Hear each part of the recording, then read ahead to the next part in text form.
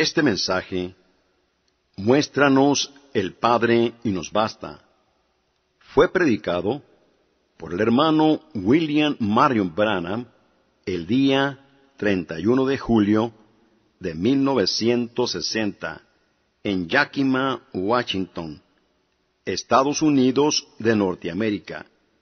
Escuche usted la interpretación al castellano. Permanezcamos de pie solo un momento para orar mientras inclinamos nuestros rostros. Bondadosísimo y Padre Santo, mientras nos acercamos a tu trono divino de gracia, nos paramos en las sombras de tu justicia. Te pedimos, Señor, que por medio de tu gracia tú nos perdones nuestros pecados y faltas. Deseamos misericordia. No nos juzgues de acuerdo a nuestras vidas y nuestras obras. No nos des justicia, sino danos misericordia. Y Padre, oramos que tú hagas esta una, una tarde que sea recordada por mucho tiempo debido a tu presencia. Te damos gracias por lo que tú hiciste esta mañana por todas partes de la ciudad y por todo el valle y por todo el mundo. Te pido, Dios, que tú continúes estando con nosotros y dándonos de tu gracia y misericordia hasta que Jesús venga. Bendice las palabras que serán leídas y los, los comentarios que serán dichos sobre la palabra. Permite que tu espíritu esté en todo lo que hagamos o digamos. Sana a los enfermos y a los afligidos. Y no olvidaremos, Señor, a los convalecientes, a aquellos que no pueden venir. Pedimos que el Espíritu Santo se pare al lado de sus camas esta tarde, siendo que muchos aquí en el edificio tienen una carga por ellos para que ellos sean sanados. Cuando la vida se termine, y nos paremos en tu presencia, nos inclinaremos humildemente para darte gracias y toda la alabanza a ti, porque lo pedimos en el nombre de Jesús. Amén. Se pueden sentar.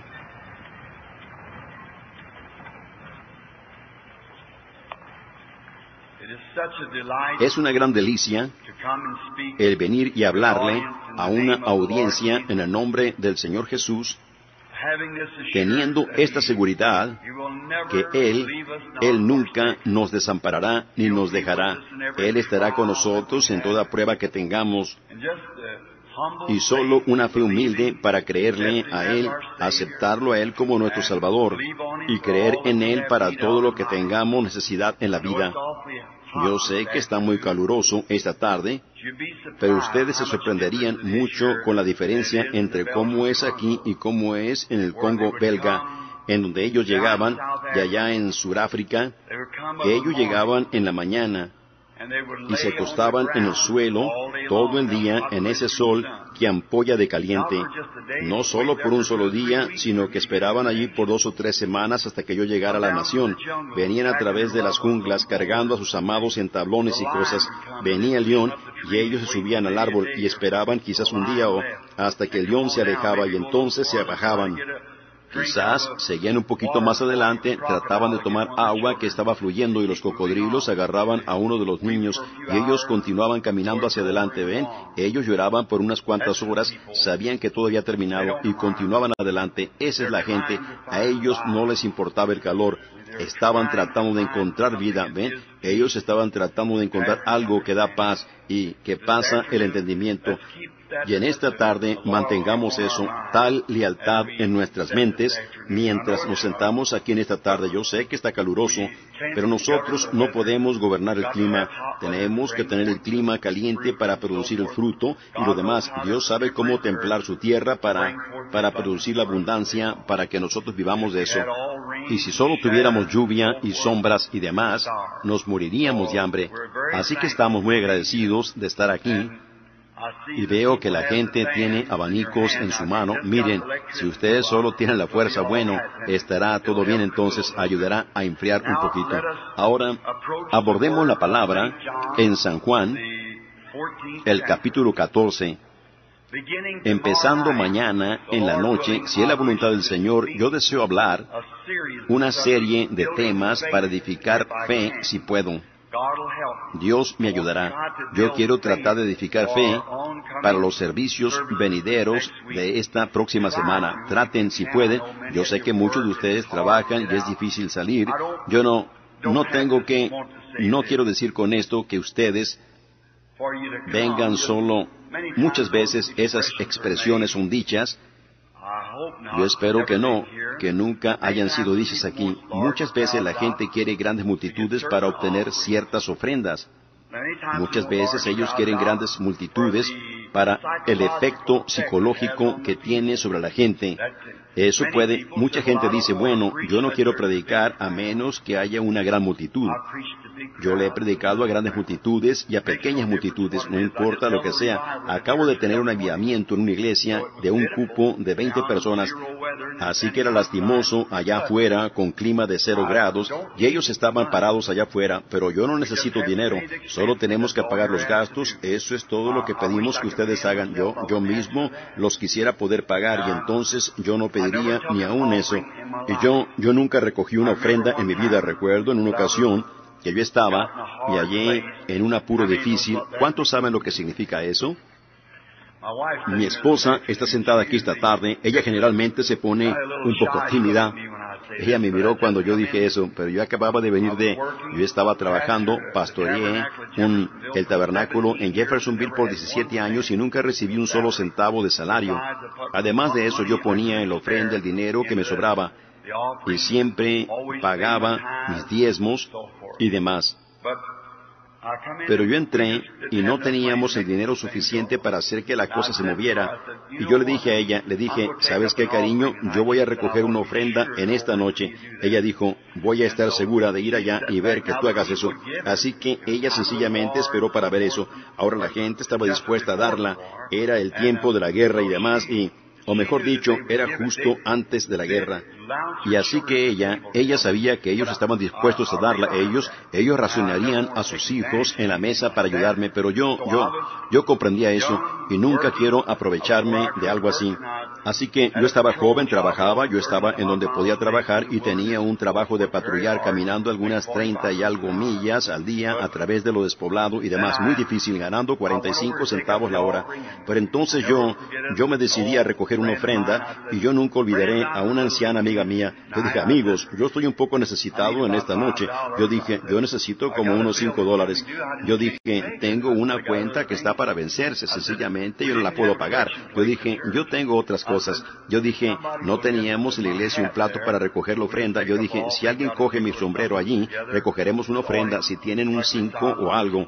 Era una audiencia como del tamaño de este cuarto, mi iglesia. Y yo dije, el señor Weishart fue a coger mi sombrero y miré y una ancianita, la cosita más dulce, una de esas madres chapadas a la antigua que solían usar esos pequeños delantales con puntos y tenían un bolsillo en la parte de adentro. Ustedes saben del delantal. ¿Vieron ustedes alguna vez uno de esos?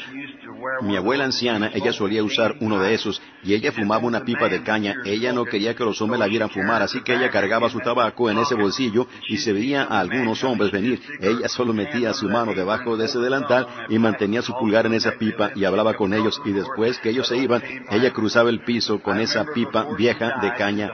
Yo recuerdo, antes que ella muriera, ella tenía 110 años de edad. Ella recordaba el asesinato de Abraham Lincoln. Nunca había visto un solo automóvil en su vida. Yo lo llevé allá, muy metido allá en la región montañosa. Nunca había visto un tren en toda su vida, pero la agarré en mis brazos y por ella. Ella probablemente pesaba 50 libras, estaba seca, y así que ella era la cosita más dulce. Ella fue salva y me abrazó del cuello, y la última cosa que ella dijo fue, Dios bendiga tu corazoncito ahora y para siempre jamás, y se fue para estar con el Señor. Y esa fue la madre de mi padre. Y recuerdo que esa mujercita, ella continuaba usando su, su delantarcito, tenía su delantarcito, ella lo usaba a la iglesia, ella no vivía muy lejos y todos nosotros éramos pobres y ella metió su mano al bolsillo, ese pequeño bolsillo y sacó una de esas pequeñas portamonedas que se abría por arriba. Ustedes saben, buscando allí unos cinco, oh hermanos, si yo hubiera tomado eso me hubiera sentido como Judas que tomó ese dinero, esas treinta piezas de plata, yo la vi buscando, yo miré eso y se me hizo un gran nudo. Ustedes saben ese sentir en su garganta como un nudo. Yo dije, oh, yo solo estaba bromeando. Yo no dije eso en serio. Yo dije, yo solo quise ver lo que ustedes dirían. Y ahí estaba el diácono en la iglesia con el sombrero en su mano. Él me miró y dijo, ¿qué debo hacer? Yo dije, cuelgue mi sombrero. Bueno, yo solo estaba bromeando. ¿Ven? Yo sabía que si yo hubiera puesto ese 5 o ese 10 allí, yo no lo hubiera podido soportar. Así que yo nunca olvidaré. Cariño, ella sabe al respecto. Yo dije, me fui y yo tenía una bicicleta vieja que el hermano John Ryan, él era realmente uno como los de la casa de David de cabello largo, que él la manejó allá y me la dio. No era no era que se había descarriado, sencillamente se había desgastado. Eso era todo. Así que fui allá a la tienda de 10 centavos y compré un bote de pintura y la pinté y la puse enfrente y la vendí por 5 dólares. Yo no tuve que recoger la ofrenda, así que eso fue lo más cerca que llegué de recoger una ofrenda. Así que no estamos aquí para ese propósito, estamos aquí para tratar de ayudarlos a ustedes, para tratar de hacer algo, para hacer para hacerlo un, aquí al vecindario un poquito más fácil para hacer el bien y un poquito más difícil para hacer el mal, hacer la vida un poco más placentera para ustedes. Quizás que Dios sane sus enfermedades y alargue sus días, salve a los perdidos, ayude a las iglesias. Estos son mis patrocinadores. Ellos son hombres que creen la misma cosa que yo creo. Ellos no estarían sentados aquí si no lo creyeran. Y ellos para mí son lo mejor.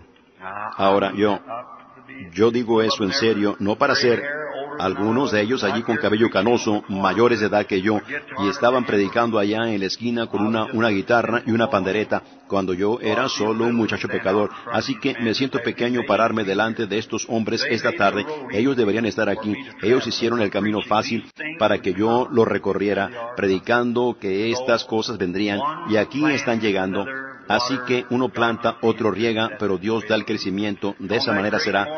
Y en esa gran mañana allá, cuando la mesa sea puesta a lo largo de los doseles de los cielos, cuando toda vida termine y nos sentemos en esa cena de la boda, yo quiero estar allí con todo mi corazón, hermanos.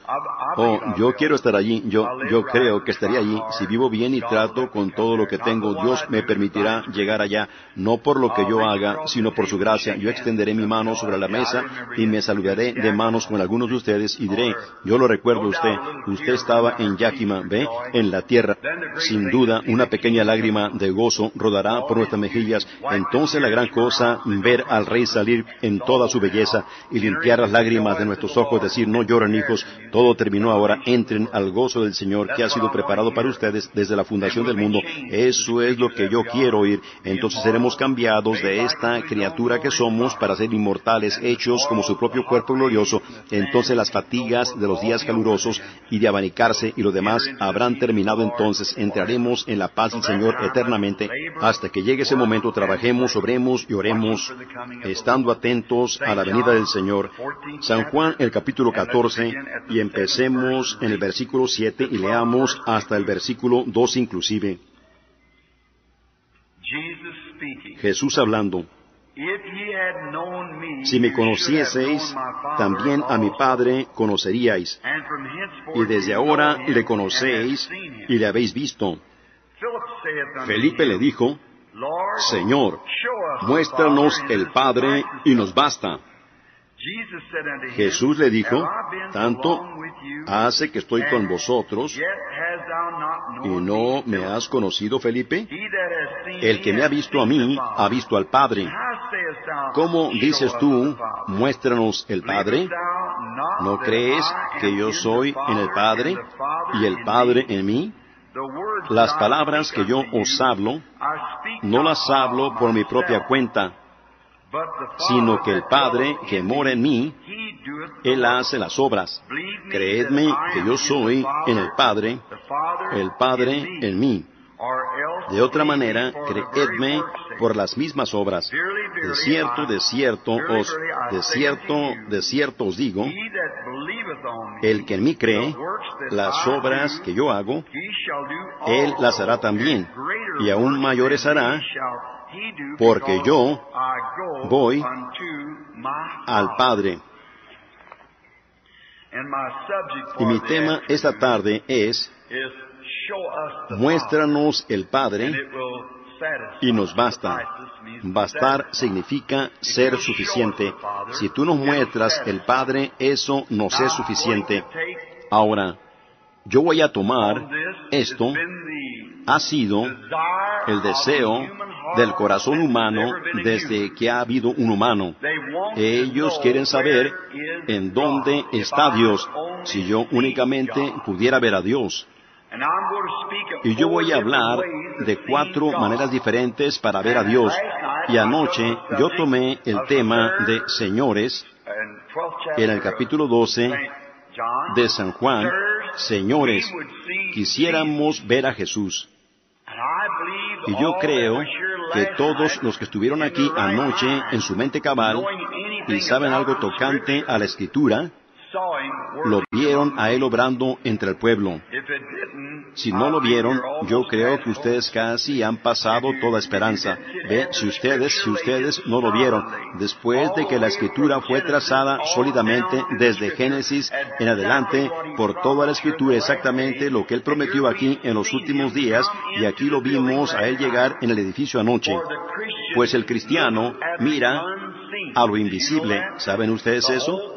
Toda la armadura cristiana es invisible. Amor, gozo, paz, tolerancia, bondad, mansedumbre, benignidad, paciencia. Todos los frutos del Espíritu son invisibles.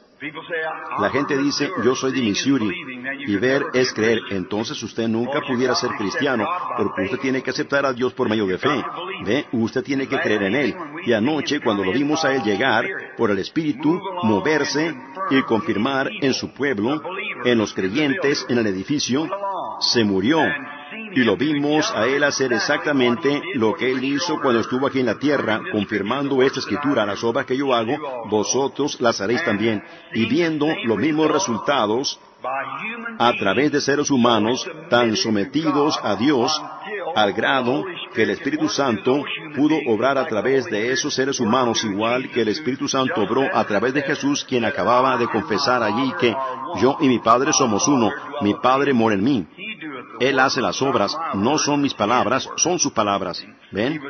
Él estaba tan sometido a Dios y Él murió y santificó a una iglesia en la que Él pudiera vivir para continuar sus obras hasta el segundo advenimiento de su, su venida, cuando Él venga la segunda vez. Ahora, vamos a ver si podemos ver a Dios. ¿A cuántos les gustaría ver a Dios? Levanten sus manos. Yo, yo sé que es algo juvenil, pero nosotros debemos ser niños. Cuando llegamos a saber mucho, entonces no sabemos nada que deberíamos saber. Dice la Biblia, nosotros nunca queremos tener un gran sentimiento intelectual de que somos superiores a alguien o sabemos más que alguien más, solo sean comunes y sencillos.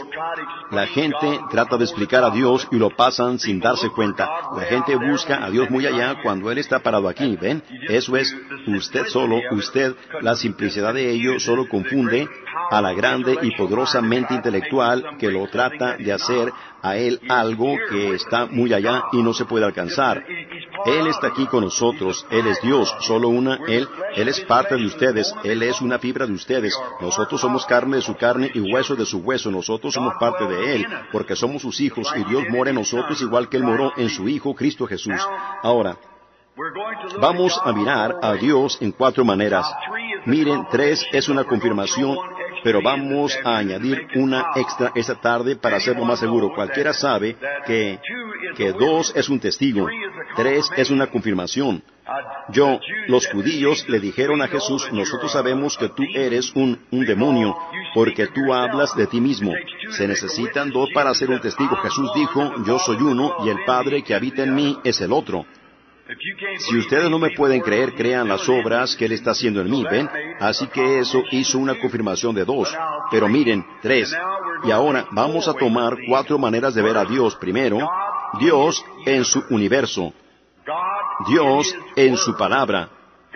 Dios en su Hijo. Dios en su pueblo. Dios en su universo, veremos si lo podemos encontrar a Él en el universo. Dios y su palabra, veremos si lo podemos encontrar a Él en la palabra. Dios en su Hijo, veremos si Él está en su Hijo. Luego Dios en su pueblo, y veremos si Él está en su pueblo. Esas son las cuatro maneras que podemos ver a Dios. El ateo dice, déjame verlo a Él. Hace algún tiempo, yo estaba predicando en una esquina y estaba allí un ateo que estaba hablando en la siguiente esquina. Y él estaba, tenía la Biblia allí, dijo, es el libro más bajo y vulgar que alguna vez se escribió. Y yo, él seguía hablando así. Era, había sido un sacerdote, o mejor dicho, había estudiado para ser un sacerdote en un monasterio. Y era muy buen teólogo. Y sabía la palabra y así que él estaba masticando tabaco y él, yo estaba parado al lado de una tiendita de comestibles y cuando él entró para comprar comestibles, entonces allí el predicador y el ateo se encontraron. Así que él dijo, oh, tú eres ese predicador que está haciendo mucha gritería allí. Sí, Señor, yo soy. Y él dijo, ¿Crees tú esas cosas que estás diciendo? Yo dije con todo mi corazón las creo.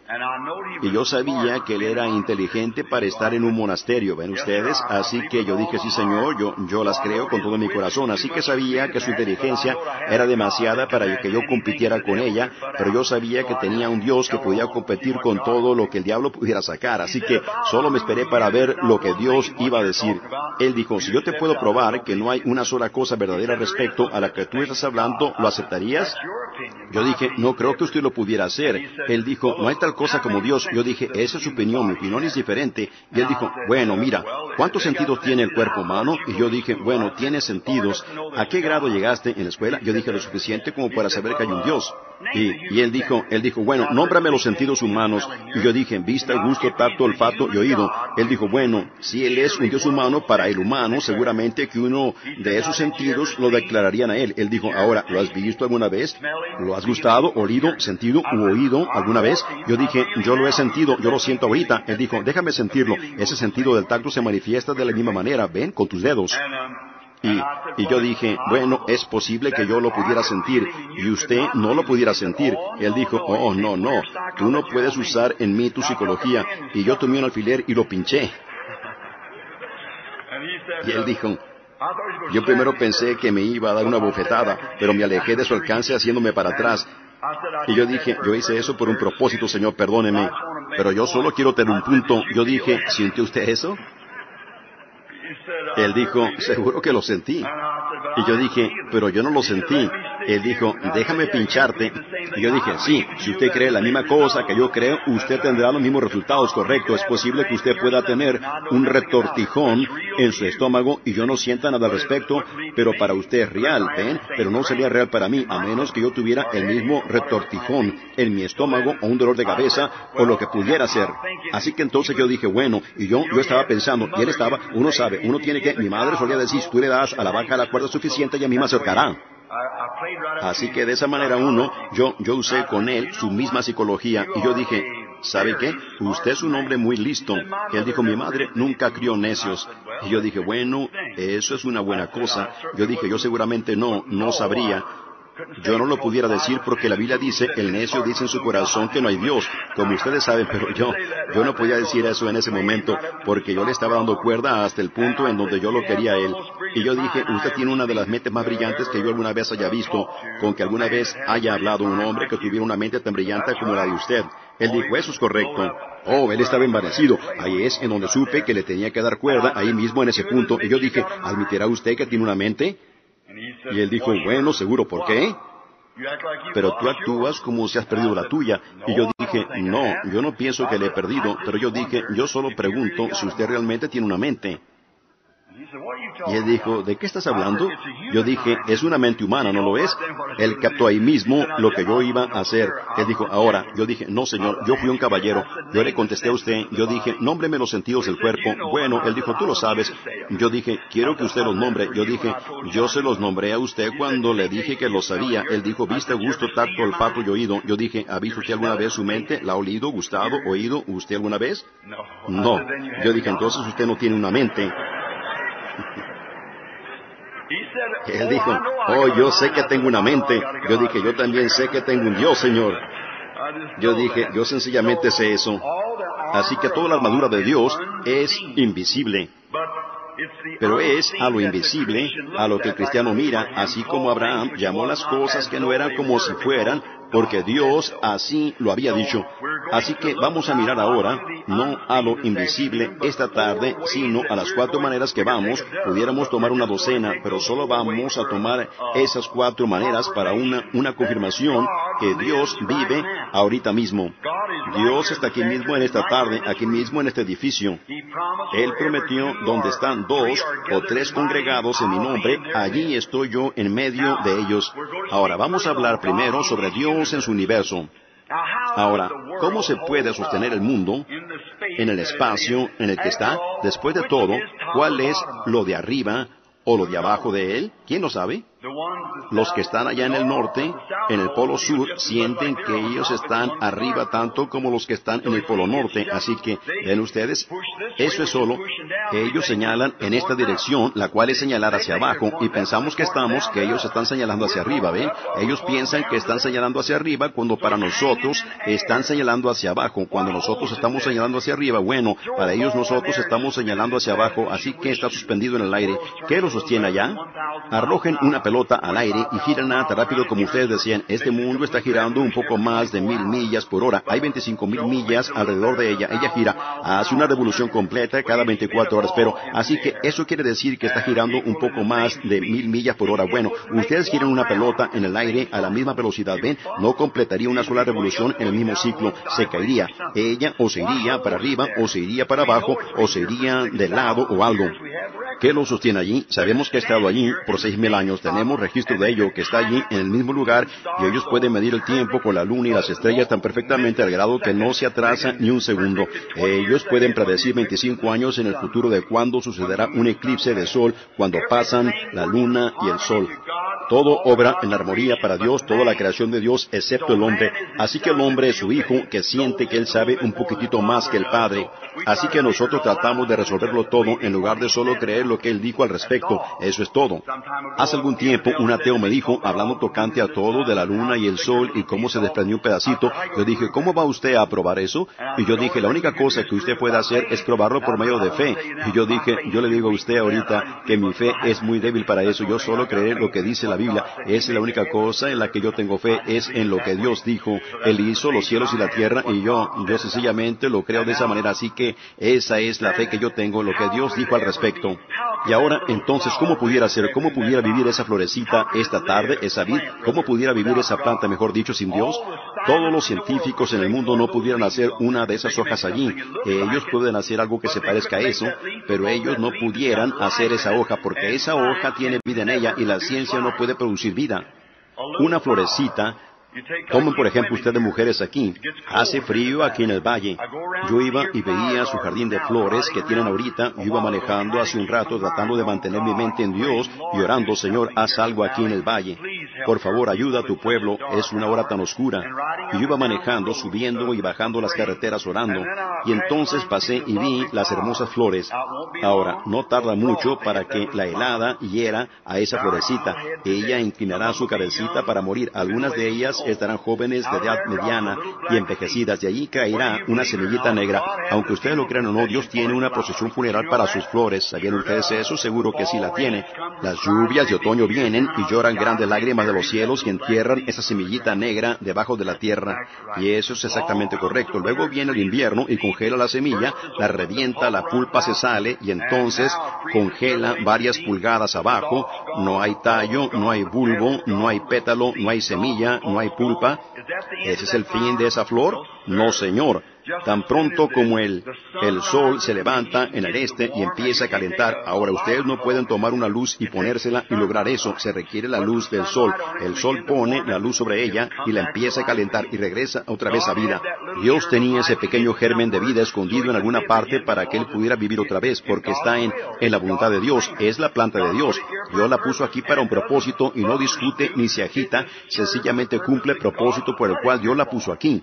Y si nosotros solo haríamos haríamos lo mismo, servir el propósito por el cual Dios nos puso aquí, no solo que tenemos que criar cerdos y eso está bien, y tenemos que hacer esto, eso o lo otro, sino que Él nos puso aquí para ser hijos e hijas de Dios, para que lo glorifiquemos a Él y lo alabemos a Él como la florecita.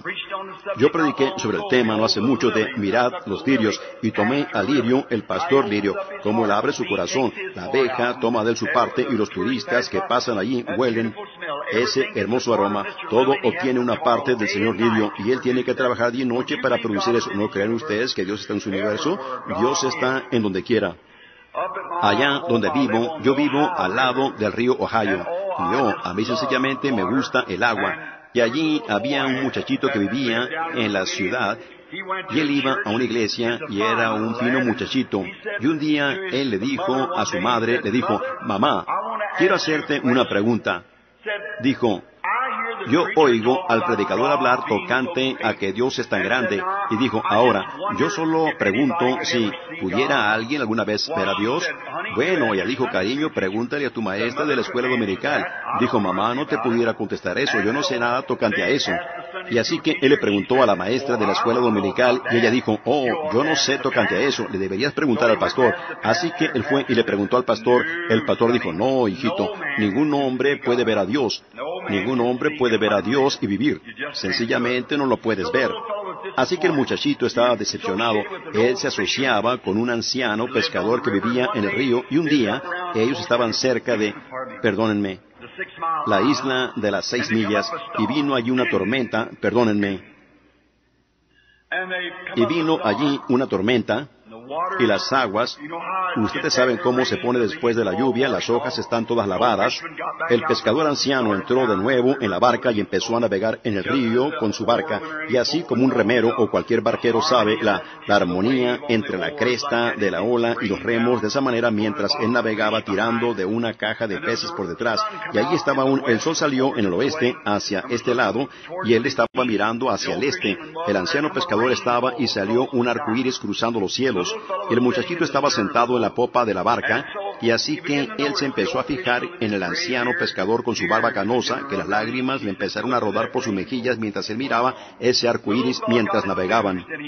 Y el muchachito se entusiasmó y corrió hacia el centro de la barca y abrazó al anciano pescador de las piernas y cayó allí a sus pies. Él dijo, Señor, le voy a hacer a usted una pregunta que mi maestra de la escuela dominical, mi madre, mi pastor, nadie pudo contestar. ¿Puede alguien ver a Dios? Y el anciano pescador, todo conmovido, subió los remos en la barca y abrazó al pequeñito. Él dijo, Dios te bendiga, cariñito.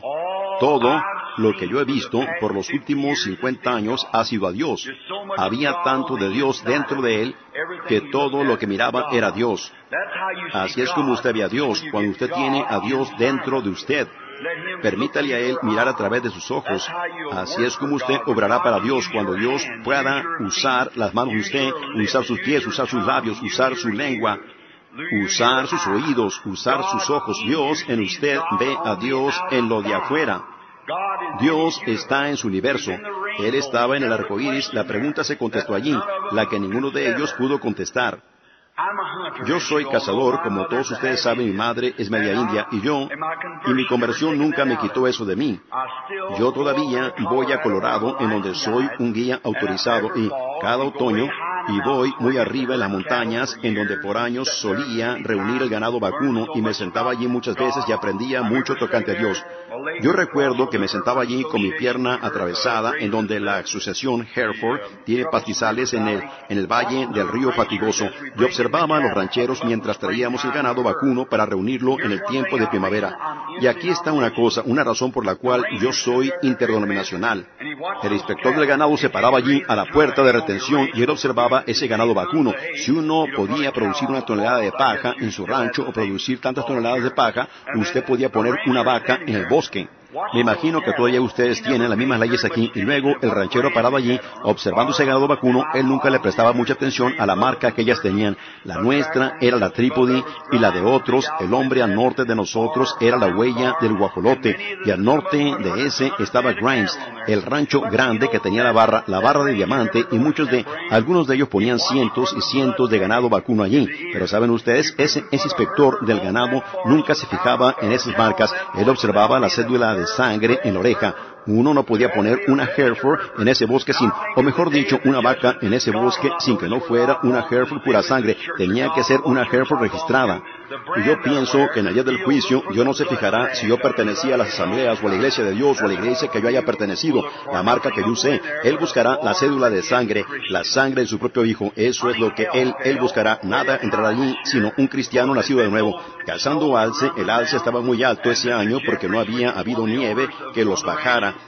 y el señor Jeffries, quien era uno de los propietarios de uno de los ranchos, conocíamos cada pedacito de terreno, de todo ese terreno forestal, allí por cientos de millas, porque nosotros, pues yo había reunido el ganado y le había dado sal y demás, lo descargaba de los trenes y regresaba, y le daba sal al ganado y lo reunía y demás. Y habíamos ido de cacería, y él es un excelente cazador, y él se había ido a la izquierda para ir allá a lo que nosotros le llamamos la rama oeste, yo tomé la rama este, y nos encontrábamos en cuatro o cinco días y teníamos nuestros alces colgados y lo que habíamos cazado y luego juntábamos nuestros caballos y cogíamos los fardos, continuábamos y los bajábamos. Yo estaba muy arriba, caminando allá arriba y había habido, no había habido nieve que valiera la pena y, y en el otoño allá en lo alto de las montañas nieva, luego llueve y luego sale el sol. Ustedes saben cómo es en el cambio de clima como para octubre. Yo iba caminando muy arriba allá, casi en el límite de la vegetación arbórea, y vino allí una, una tormenta del norte y los cielos se tornaron verdes por un ratito, y oh, empezó a soplar y a llover, y, a caer agua nieve, y me paré detrás de un árbol, y me quedé detrás del árbol, puse mi rifle en el suelo, cerca de allí había habido un derrumbamiento de árboles, y yo puse mi rifle en el suelo, y solo estaba pensando, oh Dios, cuán grande eres tú, cuán maravilloso eres tú, tú eres tan, tú hiciste las montañas, tú derramaste las fuentes, elevaste las montañas, Señor, mantén tus manos preciosas sobre mí. Y mientras yo estaba parado allí, esperando que la lluvia parara, y entonces los vientos se arreciaron, y después que la tormenta terminó, yo oí a un alce macho empezar a bramar. Él se había perdido en la tormenta, muy arriba de la ladera de la colina, un coyote aulló. La compañera le contestó más abajo a lo lejos.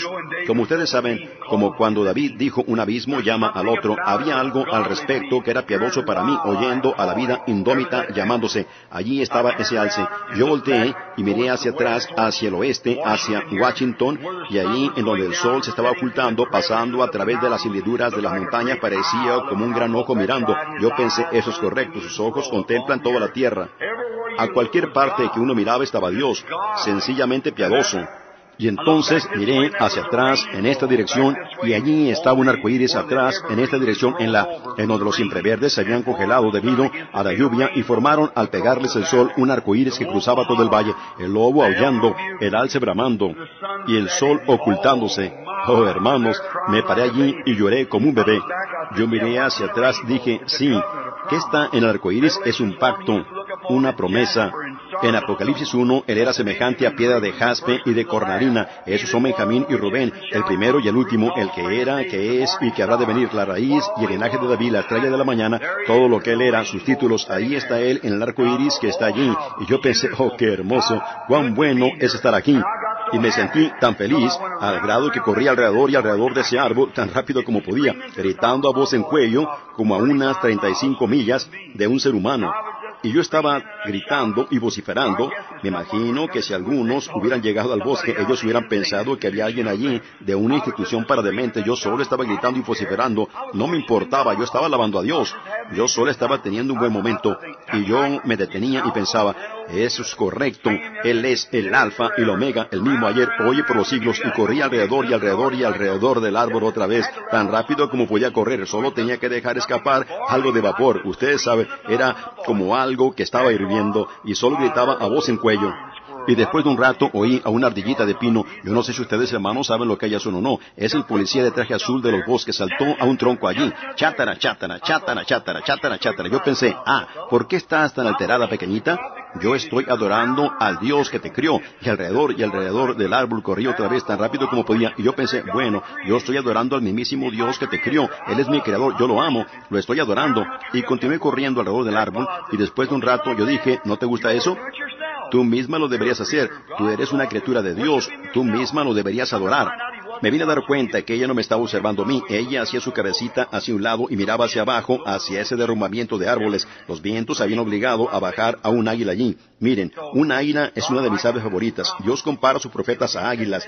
A él le gusta, él mismo dice, él mismo es un águila. Jehová águila. Quizás, si la voluntad del Señor, me gustaría predicarles a ustedes en una ocasión sobre eso, como el águila que excita su nidada. Y entonces, así que entonces, cuando ella estaba mirando hacia abajo de esa manera, ella estaba observando a esa águila allí abajo y esa grande águila saltó allí, sus ojos grandes y grises, y yo pensé, ah, eso era lo que te alteró, ¿eh? Bueno, yo empecé a estudiar eso y pensé, Señor, yo sé que tú estás en ese bramido de ese alce. Tú estás en el llamado de ese lobo, tú estás en el arco iris, tú estás en la puesta del sol, tú estás en mí, tú sencillamente estás en todas partes, tú estás en todas las flores, tú, tú estás en todas partes ahora. ¿Cómo me pudiste tú detener y adorarte para permitirme ver a esa águila parada allí? Ahora, no hay nada tocante a la ardilla, ella es un ladrón bueno, pero ¿qué de ella?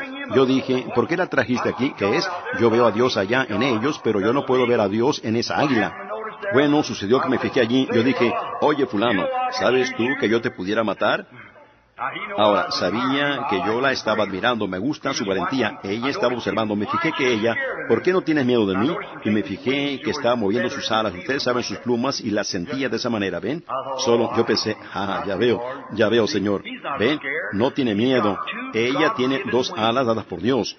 Ella sabe que antes que yo pudiera tocar ese rifle, ella podía estar en ese bosque allá y yo ya no la vería más, ¿ven? Y yo pensé, si ella pudiera, si esa águila por medio de esas dos alas dadas por Dios, que la pueden alejar de, de problemas, cuánto mucho más debería una iglesia cuando ella puede sentir el poder del Espíritu Santo alrededor de ellos. ¿Qué deberíamos hacer nosotros? Deberíamos ser capaces de alejarnos volando por fe de toda enfermedad, de toda dolencia y de todo lo del mundo si podemos sentir la presencia de Dios. Mientras esas plumas estaban funcionando bien, ella sabía que lo podía hacer porque tenía confianza en el don que Dios le había dado. Y sin embargo nos sentamos y nos preguntamos y nos asombramos con el mismísimo poder del Espíritu Santo sobre nosotros y camina, se mueve a través del edificio mostrando que Él está presente. Bueno, uno ve a Dios en cualquier parte que uno mira. ¿No creen ustedes eso? Dios está en un águila, Dios está en el llamado de un lobo, Dios está en una puesta del sol, Dios está en su universo, Dios está en sus flores. Bueno, Dios está en todas partes si ustedes solo miran alrededor. Para finalizar esa historia, esa águila yo la observé por un ratito y esa pequeña, pequeña ardilla de pino estaba allí mirándome, ustedes saben, chátara, chátara, mirando al águila y después de un rato el águila se hartó de eso. Así que ella solo dio un gran salto, movió sus alas repetidamente como unas dos veces y desapareció. Ahora me fijé que ella nunca movió sus, una pluma después de eso. Cuando ella subió por encima de ese pino verde, ella solo posicionó sus alas, ella sabía cómo hacerlo y cuando ese viento soplaba subiendo hacia la montaña, cada vez que el viento soplaba, ella solo cabalgaba sobre él, cabalgaba sobre él. Yo me quedé allí y la miré. Oh, hermanos, ella se iba haciendo más pequeña y más pequeña hasta que la perdí de vista. Y yo pensé, eso es, eso es, Señor. ¿Ven? No es cuando usted está enfermo o necesitado, no es aletear, aletear hacia esto, llevar su carta a esa iglesia, y si las asambleas no lo tratan bien, usted se va a la iglesia de Dios, y si ellos no lo tratan bien, usted se regresa a la bautista. Eso no es, es solo saber cómo posicionar sus alas de fe en el poder de Dios y alejarse de aquello cabalgando, seguir adelante. Cuando el Espíritu Santo se empiece a mover, solo cabalgue sobre él, no es aletear, aletear, aletear, aletear, aletear, aletear. Bueno, yo miré allá, si ustedes no me tratan bien, yo me regresaré acá. Yo pasaré por la fila de oración de Roberts. El hermano Branham viene, pasaré por la de él. Eso no es, posicione su fe en el poder de Dios y aléjese.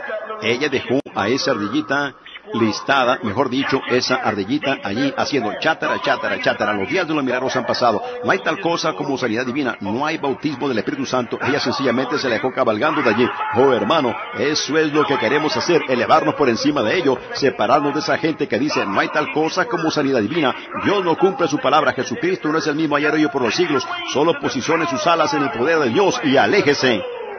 Correcto. Sálgase del alcance de la vista. Déjelos allí solos. sea tan sordo que ni siquiera los oiga en lo absoluto, apártese de ello. Dios está en su universo. Dios se mueve entre sus criaturas. Tomen por ejemplo a un patito.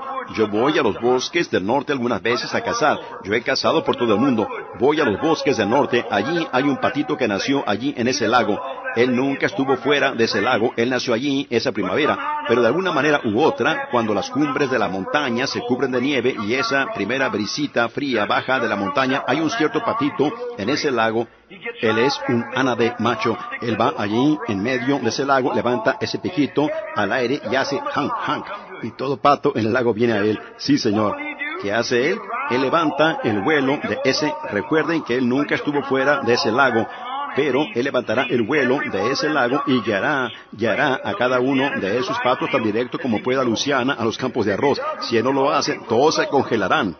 Seguramente que deberíamos tener el sentido de un pato. Si Dios puede usar el instinto de un pato para guiar a su pueblo, o mejor dicho, a sus amigos patitos, para alejarse de un lugar que se congelará, seguramente que el poder del Espíritu Santo nos debería guiar a Cristo, quien es nuestro sanador, y alejarnos del peligro.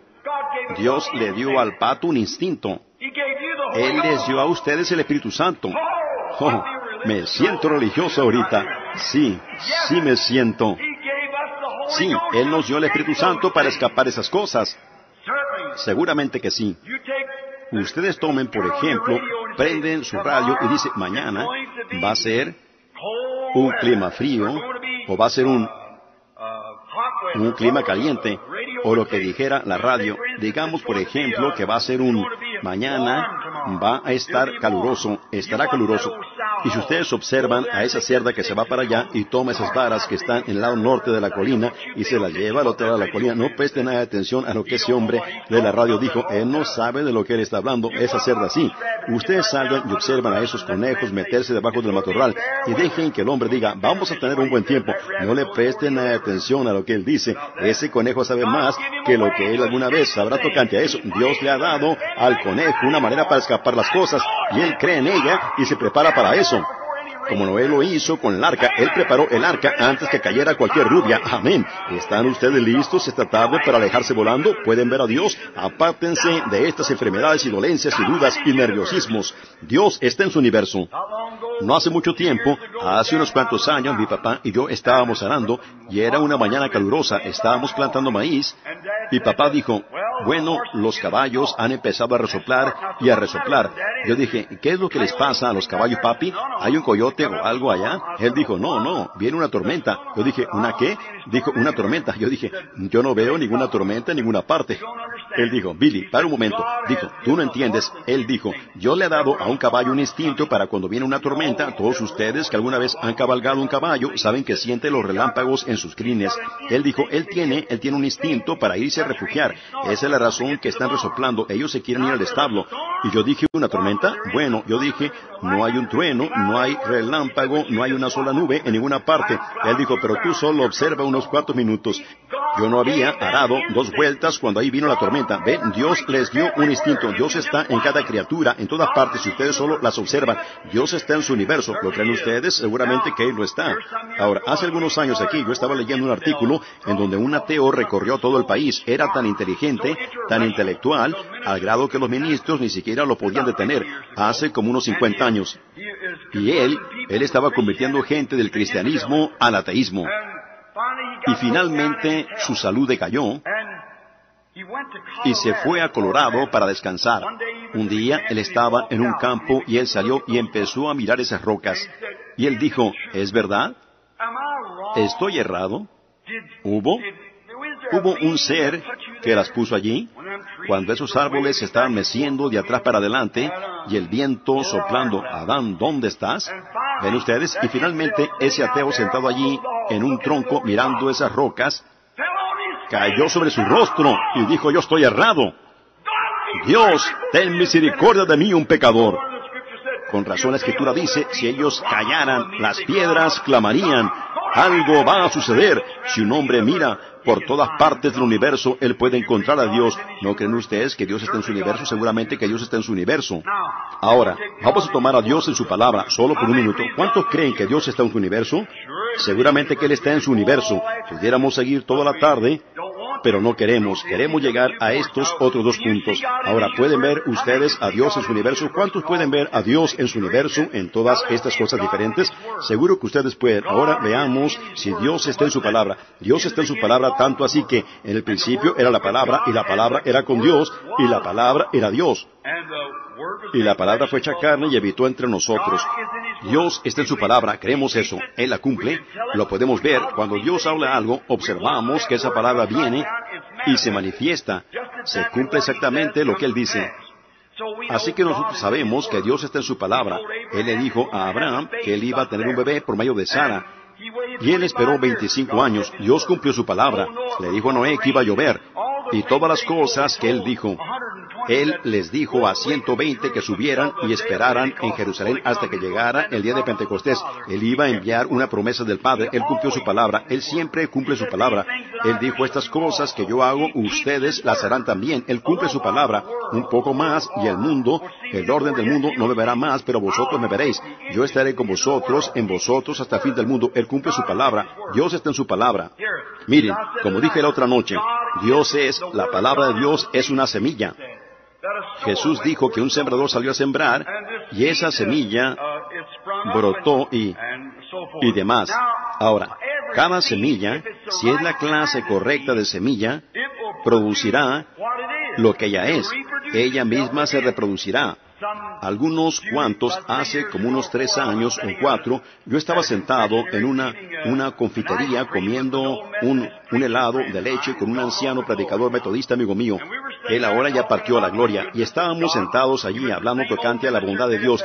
Él era el mismo ministro que compuso esa alabanza. Dejamos caer las trancas, dejamos caer las trancas, nos comprometimos con el pecado, dejamos caer las trancas, las ovejas se salieron, pero ¿cómo entraron los chivos? Yo, yo dije, bueno, eso es fácil, dejaron caer las trancas, eso es todo. Ustedes empezaron a comprometer, y así es como entraron los chivos, se comieron toda la comida de las ovejas, y a ellos no les gusta eso, ellos tienen que comer hierbas, hierbas eclesiásticas, los chivos comen, comen, se satisfacen con hierbas, pero una oveja tiene que comer comida verdadera.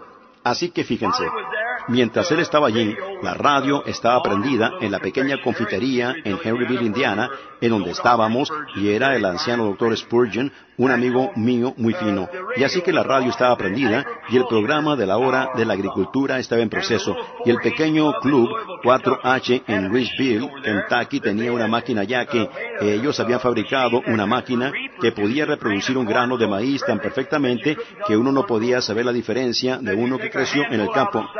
Dijo, ustedes toman una mano llena del saco del que creció en el campo y una mano llena del saco del que, del que produjo la máquina, mézclelos y ustedes nunca sabrán la diferencia. Dijo, ustedes los pudieran abrir ampliamente y encontrarían la misma cantidad de calcio, la misma cantidad de humedad, el corazón correctamente, harían la misma harina de maíz y el mismo pan de maíz, las mismas hojuelas de maíz exactamente. Dijo, únicamente hay una sola manera por la que ustedes los pudieran diferenciar. Eso es enterrarlos y el que produjo la máquina se pudre y nunca vive otra vez, pero el que Dios hizo vive otra vez porque tiene vida en él. Usted puede tomar a un hombre que se mira como cristiano, que actúa como cristiano, pero si ese hombre no tiene la palabra de Dios en él, si no hay un germen de vida allí adentro para germinar eso, él nunca se levantará en la resurrección. Correcto. Porque él no se puede levantar, no hay nada allí que lo levante otra vez, una semilla. Ahora, cuando ustedes entierran una semilla, ustedes granjeros, cuando van allá y plantan su maíz, ustedes no van allá afuera cada mañana y la desentierran y dicen, veamos ahora, ¿está creciendo? ¿Le pasó algo? No.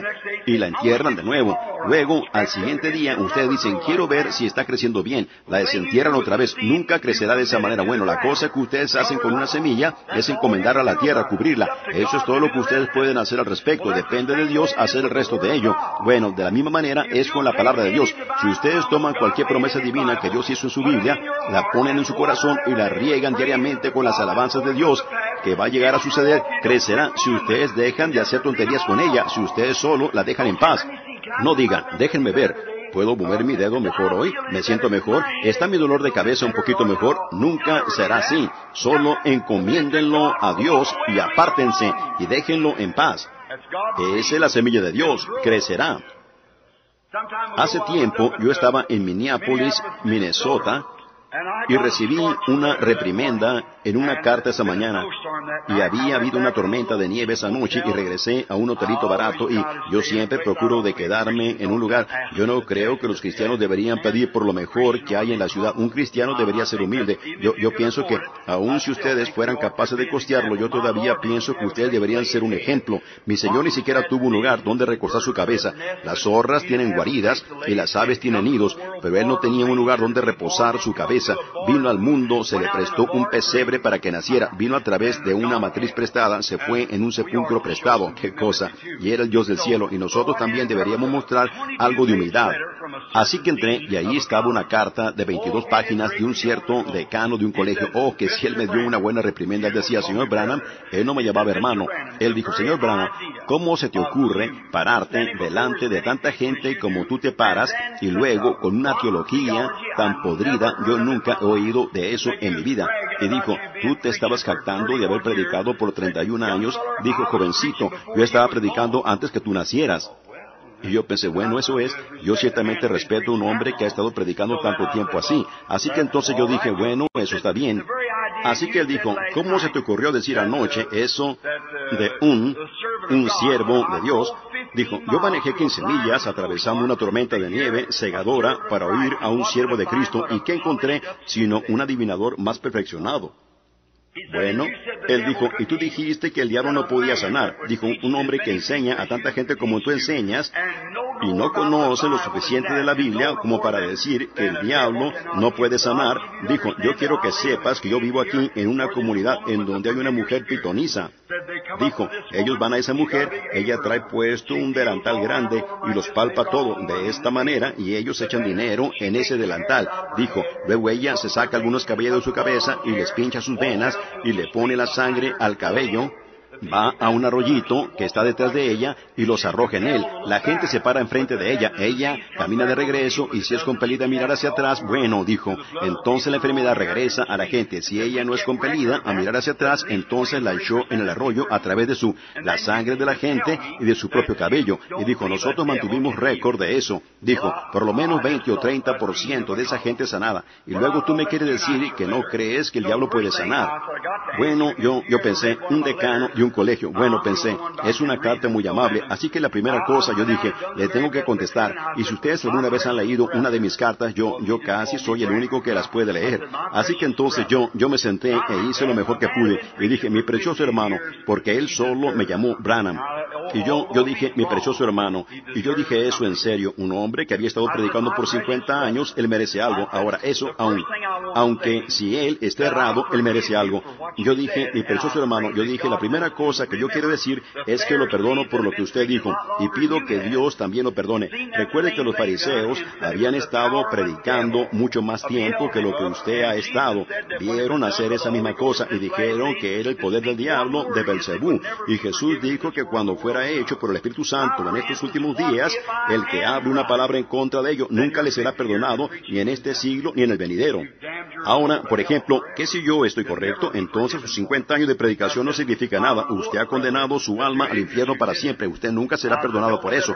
Yo dije, yo sé, hermano, que usted hizo eso por ignorancia. Mire, yo dije, no permita que eso hiera sus sentimientos. Pero yo dije, luego usted me continuaba desacreditando tocante a mi, teología, porque dije que el diablo no podía sanar. Yo dije, yo diré lo que Jesús, usted no puede hacer un manojo de las escrituras. Usted las debe mantener aclaradas y correctas. Eso es correcto. Yo dije, Jesús dijo que Satanás no puede sanar. Y usted dice que él sana. Ahora, yo dije, mire, si usted me perdona, yo dije, yo, yo le explicaré a usted tocante a su bruja que usted tiene en su vecindario. Yo dije, sí, por supuesto, esas personas sanaron porque yo dije, en África yo los he visto ir a ídolos y ser sanados. En Aldase, Lorraine, ellos tienen un monumento allí de una mujer muerta dentro de la iglesia católica. Ellos van allí y miran a esa mujer muerta, dicen una Ave María y sanan, seguro, porque la gente piensa que se están acercando a Dios por medio de eso y Dios sana en base de fe. Y en donde sea que se llenen los requisitos de fe, Dios tiene que cumplir ese requerimiento correcto. Yo dije, hay mucha gente en el país hoy en día que ellos mismos se llaman sanadores divinos. Dicen, yo tengo poder en mis manos, gloria, aleluya. Ah, sienten eso y la gente americana se lo traga con tanta facilidad como un holgazán se traga los panqueques. Y ellos, y ellos, ellos piensan que eso está bien, que ellos sanan porque están. Eso no es su fe, está en la obra terminada de Jesucristo. Ahí es donde se asienta la sanidad. Nunca permitan que alguien les diga a ustedes que ellos tienen poder para sanar. Ellos no lo tienen. Jesucristo ya pagó la deuda. ¿Cómo la pudieran ustedes pagar otra vez? Les dio un recibo de una cuenta saldada de la casa de empeño en la que ustedes estaban. Ustedes están redimidos por la preciosa sangre de Jesús. Ustedes no tienen poder para sanar. La cosa que ustedes hacen es que tienen, ustedes pudieran tener un don para manifestar a Dios. Ustedes pudieran tener un don para manifestarlo a Él, al ser un gran predicador, como algunos de estos mis hermanos que se pueden parar aquí y hacer ese trabajo mucho mejor que lo que yo puedo, porque ese es su llamamiento, mi llamamiento es algo más. Pero cada uno de nosotros tiene un don para tratar de decirles a ustedes que Cristo los sanó cuando murió por ustedes. El herido fue por nuestras rebeliones, por su llaga fuimos nosotros curados. Es algo para que ustedes sepan, si no pueden creer la palabra, entonces Él envía señales y prodigios para probar que Él es el Cristo resucitado. Ven, por lo tanto, ahí es en donde usted recibe su sanidad creyendo en Él. Ahora, así que entonces yo dije, pero la cosa que me preocupa, Señor, no es eso, sino que el decano de un colegio luterano base su doctrina sobre una sensación o sobre una experiencia en lugar de basarla sobre la palabra de Dios. Sí, oh, usted puede tener cualquier clase de sensación, pero tiene que ser la palabra de Dios. Correcto, yo dije, un decano de un colegio que ha estado predicando por 50 años y basar su doctrina, eso lo reprendió bastante duro. Basar su doctrina sobre una, sobre alguna clase de experiencia que tuvo una mujer, en lugar de basarla sobre la palabra de Dios. Dios dijo, Satanás no puede sanar, y eso lo concluye. Cuando él habla está correcto eternamente. No mucho después de eso, recibí la invitación para ir a su colegio. El señor Moore fue conmigo porque yo sabía que ese hombre era inteligente. Y así que él, después que cenamos allí en ese gran colegio famoso, y ellos tenían cientos de acres de maíz en donde los estudiantes podían trabajar como pago para sus estudios. Ese día, después que cenamos, él retiró su plato de él, el decano del colegio, y me dijo, dijo, señor Branham, venimos aquí para hacerle unas preguntas. Yo dije, pueda que no sea capaz de contestarla, señor. Yo dije, yo no soy un teólogo, yo solo soy un hermano que ora por los enfermos. él dijo, bueno, él dijo, y el señor Moore, el cual si es un teólogo, estaba sentado a mi lado, él me dijo, si se pone muy difícil para usted, solo tóqueme en la rodilla con su rodilla. Así que yo estaba sentado ahí y él dijo, señor Branham, veo que usted, investigando su vida anterior, usted es bautista. Yo dije, yo era. Y él dijo, ¿qué sucedió? ¿Por qué? ¿Por qué dejó usted la iglesia bautista? Yo dije, yo nunca la dejé, ella me dejó. Ven, yo dije, me dejó cuando ella negó el mensaje que yo estaba predicando de la Biblia. Y él dijo, bueno, señor Branham, hay una cosa que me gustaría preguntarle. Él dijo, es esta. Él dijo, mire, si usted hizo eso, me gustaría preguntarle una cosa. ¿Qué lo hizo usted asociarse con los pentecostales? Yo dije, ellos creyeron la palabra. Él dijo, ¿qué tienen ellos? Dijo, yo he estado con ellos y los he visto pateando las mesas, volteando las patas para arriba y voltear las sillas patas para arriba. Y yo dije, ah, seguro, eso es verdad. Quebrar una ventana o algo por el estilo. Yo dije, seguro. Dijo, ¿qué es eso? Yo dije, el Espíritu Santo. Y él dijo, el Espíritu Santo. Yo dije, seguro. Si ellos no hacen que la rueda ruede bien, tienen que soplar el silbato en alguna parte. Ellos tienen mucho vapor. Yo dije, y esa es la verdad. Si esta iglesia pentecostal tomara mucho de sus alabanzas y las pusieran a obrar, haría mucho para el reino de Dios. Dios les dio a ustedes el Espíritu Santo, a ustedes les gusta gritar por medio de Él y alabar por medio de Él, pero pongan eso en los dones y prodigios y salgan a la calle y llamen a pecadores para que entren y cosas así, y la iglesia de ustedes crecerá y todo saldrá bien. No lo dejen escapar por el silbato, pónganlo en acción y dejen, hagan que la rueda del tren del Evangelio ruede. Y él dijo, bueno, ¿qué piensa usted que tenemos nosotros, los luteranos? ¿Cree usted que nosotros creemos que recibimos el Espíritu Santo cuando creemos? Yo dije, Pablo no estaría de acuerdo con usted en Hechos 19. Él dijo, ¿recibisteis el Espíritu Santo desde que creísteis? Él nunca dijo, mire, usted siga eso en el griego, hebreo o lo que usted desee, es desde que creísteis. Ahora, ellos creen, nuestra iglesia bautista les enseñó que ustedes recibían el Espíritu Santo cuando ustedes creían, pero no es correcto. Pablo dijo, recibisteis el Espíritu Santo desde que creísteis, y esas personas estaban gritando. Bueno, Aquila y Priscila tuvieron grandes reuniones y todo estaba sucediendo, pero él dijo, recibisteis el Espíritu Santo desde que creísteis. Ellos dijeron, ni siquiera sabemos si hay Espíritu Santo. Cuando Pablo los rebautizó y puso manos sobre ellos, y el Espíritu Santo vino sobre ellos, hablaron en lenguas y profetizaron. Entonces ellos tenían el Espíritu Santo. Así que él dijo, ¿qué piensa usted que tenemos nosotros los luteranos? Yo dije, potencialmente yo pienso que usted está correcto. Él dijo, yo dije, permítame darle a usted una pequeña parábola porque yo no lo sé expresar exactamente. Yo dije, mire, ¿qué es lo que hace usted aquí? Usted va y ara su campo en el tiempo de primavera, saca todos los tallos y usted planta su maíz. A la mañana siguiente, usted va y cuando menos piensa, usted dice, hay dos pequeños retoños saliendo del maíz, dos hojitas. Y yo dije, usted mira y ve esas hojitas saliendo y dice, alabado el Señor yo tengo una cosecha de maíz. Yo dije, ¿tiene usted una cosecha de maíz? Dijo, bueno, yo no sé de lo que usted está hablando.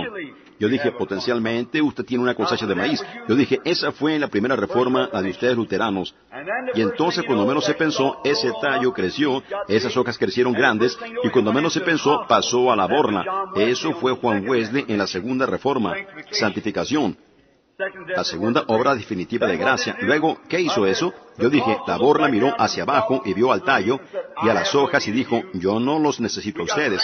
Nosotros estamos santificados, ustedes solo son luteranos. Yo dije, después de un tiempo salió el polen y cayó dentro de la hoja del maíz y produjo y dio una mazorca, un grano de maíz en él. Yo dije, esos fueron los pentecostales. Yo dije, luego los pentecostales miraron y dijeron, yo no necesito a ninguno de ustedes. Yo dije, pero después de todo, la misma vida que estaba en las dos hojitas, hicieron la borla y también hicieron el grano. Correcto. Yo dije, nosotros, ven, los pentecostales son una restauración. Los pentecostales tienen el Espíritu Santo, pero es una restauración de los dones. El mismo grano, el mismo Jesús que cayó en la tierra, el mismo se está reproduciendo, subió a través del tallo y ahora el mismo se está reproduciendo en la plenitud, en el mismo grano original que cayó en la tierra. Amén. Él dijo, ¿qué nos llamaría usted? Yo dije, la iglesia pentecostal es una iglesia luterana avanzada. Eso es correcto, es exactamente correcto. Es la luterana y nazarena y santos peregrinos y todas avanzadas. Sencillamente es la iglesia avanzada. Yo dije, yo admitiré que tenemos muchos hongos en la mazorca, pero tenemos algunos granos allí también. Alabado sea Dios, es, es el original. Dios está en su palabra y la palabra es una semilla. No importa qué suceda, ella va a crecer de todas maneras. Dios digo que estaría allí sin mancha ni arruga. ¿Creen ustedes que Dios está en su palabra? Dios toma su palabra, Dios cumple su palabra, Dios cumple la promesa de su palabra. Lo que Él hace, Él lo hace. Dios está en su universo. Amén. Dios está en su palabra, ¿creen eso? Ahora, tengo escrito aquí, Dios en su Hijo, Dios en su Hijo, muy bien. ¿Está Dios en su Hijo? La Biblia dice que Él estaba. Dios estaba en Cristo reconciliando consigo al mundo. Ahora, si ustedes unitarios, los de dos dioses, los trinitarios y los de cuatro dioses, y lo que ustedes sean, si solo captaran esto en sus mentes ahorita, ustedes, ustedes se estrecharían de manos y dirían, nosotros somos hermanos. Miren, Dios estaba en Cristo reconciliando consigo al mundo, Jesús era el Hijo de Dios, pues Dios le hizo sombra a María y crió dentro del vientre una célula de sangre. Ahora, ustedes han oído a la gente decir, nosotros fuimos salvos por medio de sangre judía. No pudiéramos ser salvos por medio de sangre judía. Es tan como cualquier otra sangre. Nosotros fuimos salvos por medio de sangre gentil. No, Señor. Nosotros ni siquiera fuimos salvos por medio de sangre humana. Nosotros fuimos salvos por medio de la sangre de Dios. La sangre de Dios. El, el germen de vida viene de la célula de sangre y la célula de sangre provino aquí de Dios el Creador, quien crió una célula de sangre que produjo al Hijo de Dios. Cuando el adorador antiguo llevaba un cordero e iba al altar para adorar, él lo ponía allí, ponía sus manos sobre él y confesaba sus pecados. Ellos cortaban su garganta y rompían la célula de sangre. El cordero moría. Ahora, él se iba con la misma condición que estaba cuando venía. Sus pecados eran perdonados, pero él se iba con el mismo deseo. Si había robado, matado, cometido adulterio o lo que fuera, él regresaba con el mismo deseo. Pero si un hombre alguna vez pone sus manos sobre la cabeza del Hijo de Dios, ¿por qué él no se iba Él no se iba como si Él fuera puesto su mano sobre el Hijo de Dios, porque la célula de sangre de ese cordero tenía vida animal en ella, y esa vida animal no coincidía con la vida humana. Por lo tanto, cuando la vida regresaba, era vida animal para la vida humana, y no podía hacer nada por Él. Pero cuando la célula de sangre de Dios fue rota, el Espíritu de Dios que vive en esa célula regresa en la forma del Espíritu Santo, ese hombre es libre de pecado. La mismísima conciencia de pecado ha sido condenada. Amén. Yo creo eso con todo mi corazón. Los que tributan este culto limpios una vez no tendrían ya más deseo de pecado. La Biblia dice conciencia, lo cual realmente significa deseo. Una vez que uno que tributa este culto pone sus manos sobre la cabeza de Jesucristo por fe y siente esa carne estremecerse, como el hombre la sentía en el Cordero, muriendo, balando, un inocente, y con todo su corazón creyendo que el Hijo de Dios murió en su lugar. Y cuando usted hace esa confesión, el Espíritu Santo proveniente de esa célula de sangre que lo santificó usted, entra en su vida y usted es una nueva creación en Cristo Jesús. La vida de Dios está en usted y Él lo ha adoptado a usted y usted es un hijo de Dios. Amén. No se asusten, amén significa así sea. Eso no los dañará a ustedes. Fíjense, el Hijo de Dios, el Espíritu de Dios está en el hombre. Así que Dios estaba en Cristo reconciliando consigo al mundo. Dios es espíritu. Él no tenía manos hasta que Él llegó a ser Jesús. Él no tenía pies, brazos, piernas y demás hasta que Él llegó a ser Jesús. Él manifestó. A Dios nadie le dio jamás el unigénito Hijo que está en el seno del Padre. Él le ha dado a conocer. Dios habitó en el cuerpo de Cristo. Eso debería ser sorprendente. Eso debería ser que el hombre se maraville. Él pudiera haber descendido del cielo, descendido de los corredores del cielo con un saludo completo de ángel. Si él hubiera querido, él pudiera haber nacido como un hombre completamente maduro. Él pudiera haber descendido con toda la pompa y la gloria del cielo, pero él no escogió eso. Él vino a un establo. Nació sobre una, una pila de estiércol. Y el pequeño Jehová estaba llorando en un pesebre. El pequeño Jehová estaba jugando como un niño. El pequeño Jehová estaba trabajando como un hombre. Él, él cambió su forma para ser como nosotros. Dios llegó a ser humano.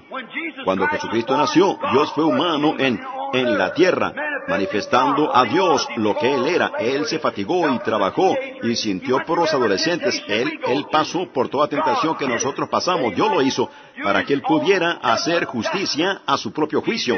Él, su juicio tiene que ser justo. Si no hay justicia, ¿qué bien hace tener juicio? Y si no hay juicio sin pena, entonces todavía no es juicio. Así que Él tomó la pena de su propio juicio y murió como un pecador para condenar el pecado del mundo para que nosotros, a través de su justicia, pudiéramos ser reconciliados de nuevo al trono de Dios en compañerismo, como lo teníamos en el jardín del Edén. Y si ese no es el Evangelio, yo no lo sé.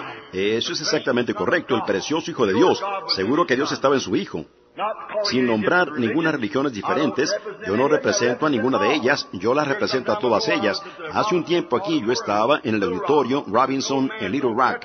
Allí estaba un anciano que había estado en muletas, él había sido llamado a la fila de oración, había vendido lápices en una esquina por años, él era nazareno. Al día siguiente, él iba por la calle cargando esas viejas muletas diciendo, mis viejas amigas, ya terminé con ellas, testificando. Esa noche yo estaba, me paré en el púlpito para predicar y él dijo, un momento, señor Brana, yo dije, sí, señor. Él estaba en el balcón y él dijo, ¿sabe qué? Cuando yo lo oía a usted predicar, estaba seguro que usted era un nazareno. Y él dijo, porque usted predica santidad. Y él dijo, luego alguien me dijo que usted era un bautista. Casi todas estas personas son pentecostales. Dijo, yo no entiendo eso. Yo dije, oh hermano, eso es fácil. Yo dije, yo soy pentecostal, nazareno, bautista. Eso, eso es. Somos representantes de Jesucristo. Esa es la cosa. No de su denominación, sino de su Dios. Ahora, hubo una mujer que pertenecía a una, una iglesia de la ciencia cristiana, una señora muy fina, y ella dijo, por supuesto, ellos no creen en la que Jesús es divino. Ella dijo, señor Branham, yo disfruto su enseñanza, dijo, pero la única cosa que hace mi sangre tiritar es cuando usted trata de hacer a Jesús divino. Dijo, usted se jacta demasiado de él. Yo dije, yo no me puedo jactar lo suficiente de él. Ella dijo, bueno, usted siempre se está jactando tocante a él, se jacta tocante a él. Yo dije, él es, yo, si yo tuviera diez mil lenguas, yo no me pudiera jactar lo suficiente tocante él. Yo dije, de lo que él ha hecho por mí. Ella dijo, pero usted lo hace al divino. Yo dije, él sí era divino. Si él no era divino, todo el mundo está perdido. Eso es exactamente correcto. Ella dijo, si yo, usted dice que es fundamentalista, que usted solo se queda con la Biblia. Yo dije, eso es correcto. Ella dijo, si yo le pruebo a usted por la Biblia que él no era divino, ¿lo aceptará usted? Yo dije, si la Biblia dice que él no lo era, lo aceptaría. Ella dijo, yo dije, pero la Biblia no lo dice. Ella dijo, oh sí, sí lo dice. Yo dije, ¿en dónde está? Ella dijo, muy bien, en la primera, en San Juan, el capítulo 11, cuando Jesús iba rumbo a la tumba de Lázaro, la Biblia dice que él lloró. Dijo, señor Branham, él no podía llorar y ser divino. Bueno, yo dije, señora, su argumento es más débil que un consomé hecho de la sombra de una gallina que se murió de hambre. Yo dije, bueno, usted, bueno, eso no es tener una escritura. Yo dije, mire esto, él era ambos, Dios y hombre. Yo dije, él era un hombre cuando lloró en el sepulcro de Lázaro. Pero cuando él enderezó sus pequeños hombros y dijo, Lázaro, ven fuera. Y un hombre que había estado muerto cuatro días se paró sobre sus pies y vivió otra vez. Eso requirió más que un hombre, se requirió divinidad para hacer eso. Dios estaba en Cristo. Él era un hombre hambriento bajando la colina esa noche, buscando, o mejor dicho, esa mañana, buscando comida en esa higuera y no la encontró. Él era un hombre cuando estaba hambriento, pero cuando él tomó cinco panes y dos peces y alimentó a cinco mil. Ese era más que un hombre. Ese era Dios viviendo en un hombre. Seguro que lo era. Era un hombre cuando estaba cansado, acostado en esa pequeña barca allá aquella noche. Virtud había salido de él, debido a las visiones y cosas durante el día. Y el diablo juró esa noche, probablemente diez mil de ellos del mar, que lo aguarían a él. Y allí estaba él en esa pequeña barca allá, llevada de un lugar a otro como un corcho de botella en una tormenta en un mar poderoso. Allí estaba él flotando de esa manera, y él acostado en la parte trasera de la barca, y las olas ni siquiera lo despertaron, estaba durmiendo. Así que él estaba cansado y agotado. Él era un hombre cuando estaba dormido, pero una vez que despertó, Aleluya. Oh, puso su pie sobre la cargadera de la barca y dijo, calla, enmudece. Y las olas se fueron a sus ensenadas como un bebé a su... Los vientos y las olas lo obedecieron. Se requirió más que un hombre para hacer eso. Se requirió a Dios para hacer eso. Se requirió inspiración para eso. Se requirió el poder de la divinidad para hacer eso. Dios estaba en su Hijo. ¿Creen ustedes eso? Cuando Él había muerto en la cruz, Él sí clamó por misericordia. Él era un hombre. Él estaba clamando por misericordia en la cruz. Pero en la mañana de la Pascua, cuando Él resucitó y rompió los sellos de la muerte y del infierno y se levantó del sepulcro, Él era más que un hombre. Se requiere más que un hombre para levantarse del sepulcro. Se requiere a Dios para hacer eso. Con razón el poeta dijo, viviendo Él me amó, muriendo Él me salvó, sepultado Él llevó mis pecados muy lejos, resucitando Él me justificó gratuitamente para siempre. Algún día Él viene. Oh día glorioso, sí Señor. En él habitaba la plenitud de la deidad corporalmente. Dios estaba en Cristo reconciliando consigo al mundo. ¿Creen ustedes que Dios está en su universo? ¿Creen ustedes que Dios está en su palabra? ¿Creen ustedes que Dios estaba en su Hijo? Ahora, la siguiente cosa que tengo aquí es Dios en su pueblo. Ahora veremos si lo podemos mostrar a Él en su pueblo. Dios es un espíritu y Él siempre ha usado al hombre para Él mismo manifestarse en la tierra. Él lo hizo en su Hijo. Él estaba, Dios estaba en David. ¿Sabían ustedes eso? Dios estaba en su pueblo. David, cuando él fue el rey rechazado, subió arriba del monte, miró hacia atrás y estaba llorando como un rey rechazado. 500 años después, el hijo de David estaba en el mismo monte como un rey rechazado y lloró sobre Jerusalén. ¿Es correcto eso? José tenía a Cristo en él. Cuando nació como un hermano espiritual, sus otros hermanos lo aborrecían. Observen a la iglesia hoy en día. Los otros hermanos lo aborrecían sin causa. Él fue amado por su padre y aborrecido por sus hermanos. Ahora, ellos lo aborrecían sin causa. Él no lo podía evitar, pues había nacido para ver visiones e interpretar sueños, pero ellos lo aborrecían. Ellos lo hacen hoy en día. La misma cosa. El diablo se lleva a su hombre, pero nunca su espíritu. Dios se lleva a su hombre, pero nunca su espíritu. El espíritu que estaba sobre Elías vino sobre Eliseo, y de Eliseo a Juan el Bautista, y fue profetizado que vendría otra vez en los últimos días. ¿Ven? Dios sacó el espíritu de su hijo y se lo envió de nuevo a la iglesia. Dios se lleva a su hombre, pero nunca su espíritu. El diablo se lleva a su hombre, pero nunca su espíritu. Esos dos espíritus han combatido uno contra el otro en carne humana desde el principio del tiempo. Eso es correcto, y ellos combatirán hasta el fin. Si ustedes tan solo estudian las Escrituras y observan de la manera que obra, ustedes no estarán perdidos si ustedes lo aceptan a Él como su Salvador y como su guía para que los guíe por las Escrituras bajo, mientras vamos navegando en la majestuosa, alta mar de la vida en su barca pequeña. Permitan que Él entre allí con ustedes y pilotee su barco. Ahora nos damos cuenta que Dios estaba en Moisés, Dios estaba en Eliseo. Allí estaba Eliseo, un hombre metido en la, la cueva allá, la mujer sunamita a la que él había bendecido y había dado a luz un niño. Y el niño murió y Eliseo vino a la escena. Eliseo era un hombre de Dios. Cuando él entró, el niño estaba acostado en su cama. Primero, Eliseo sabía que él era un hombre de Dios. Él no se jactó al respecto ni se infatuó al respecto, sino que él sabía que él era un hombre de Dios. Así que él caminaba con ese báculo viejo y él dijo, le dijo a Giesi, tome ese báculo y ve y ponlo sobre el niño. Él sabía que todo lo que él tocaba era bendecido porque Dios estaba en él. Si él únicamente podía hacer que la mujer creyera la misma cosa, de esa manera la mujer tocó el borde del, del manto de Jesús porque ella sabía que él era un hombre piadoso y que Dios habitaba en su pueblo y ella sabía que si Dios estaba en Eliseo, de seguro él estaba en Jesús. Ella sabía que si nosotros, gente pentecostal, nos pudiéramos respetar los unos a los otros de esa manera, sabiendo que nunca hablaríamos tocante los unos a los otros, seríamos hermanos, seríamos hermanas, nunca habría una desgracia entre nosotros si nos pudiéramos reconocer los unos a los otros como los que somos hijos e hijas de Dios, y Dios habita en su iglesia en su pueblo. Seguramente que él habita. Dios está en su pueblo. ¿Creen ustedes eso?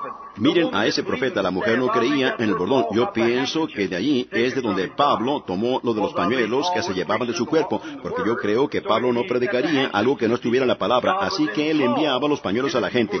Dios estaba en Pablo y la gente tomaba los pañuelos del cuerpo de Pablo, se los ponían en su cuerpo y los demonios salían de ellos y las enfermedades eran sanadas. Dios estaba en un hombre. ¿Creen ustedes eso? En Pablo. Dios estaba en Eliseo y fue llamado a la escena de un niño muerto. Él no sabía qué hacer. El niño estaba muerto, así que él solo caminó de punta a punta, de lado a lado del piso. Oh, me gusta eso, esperando que viniera el Espíritu Santo caminando de un lado al otro en el cuarto. Y después de un rato él empezó a sentir al Espíritu venir sobre él. Yo creo que se alentó un poquito, ustedes saben, empezó a caminar un poquito más rápido. Oh, él sintió el espíritu, se tendió sobre el niño, y el niño estornudó siete veces y vino a vida. Dios en su pueblo. ¿Quién puede regresar la vida de la muerte sino Dios? Amén. Me siento muy religioso ahorita. Oh, hermanos, ustedes piensan que un bautista no grita. Yo sí grito. Oh, Dios en su pueblo. Hubo un pescador que no tenía, hoy buscamos lo intelectual, al gran fulano inteligente que ha ido al colegio y que sabe todos los grados y tiene el doctorado de divinidad y el doctorado de filosofía y toda clase de doctorados de divinidad. Y así que entonces, cuando uno piensa, él se sube allá, ustedes saben, y él sabe todo al respecto. Nosotros pensamos que ese es el hombre, pero Dios en una ocasión tomó bajo su control a un pescador. Él ni siquiera podía firmar su propio nombre, era del vulgo, sin letras, y la gente vio a Dios obrando en ese hombre, al grado que ellos de hecho se acostaban en la sombra de ese pescador y eran sanados, todos por lo que su sombra caía sobre ellos. Dios está en su pueblo, ¿creen ustedes eso? Dios está en su universo, ¿creen ustedes eso? Dios está en su...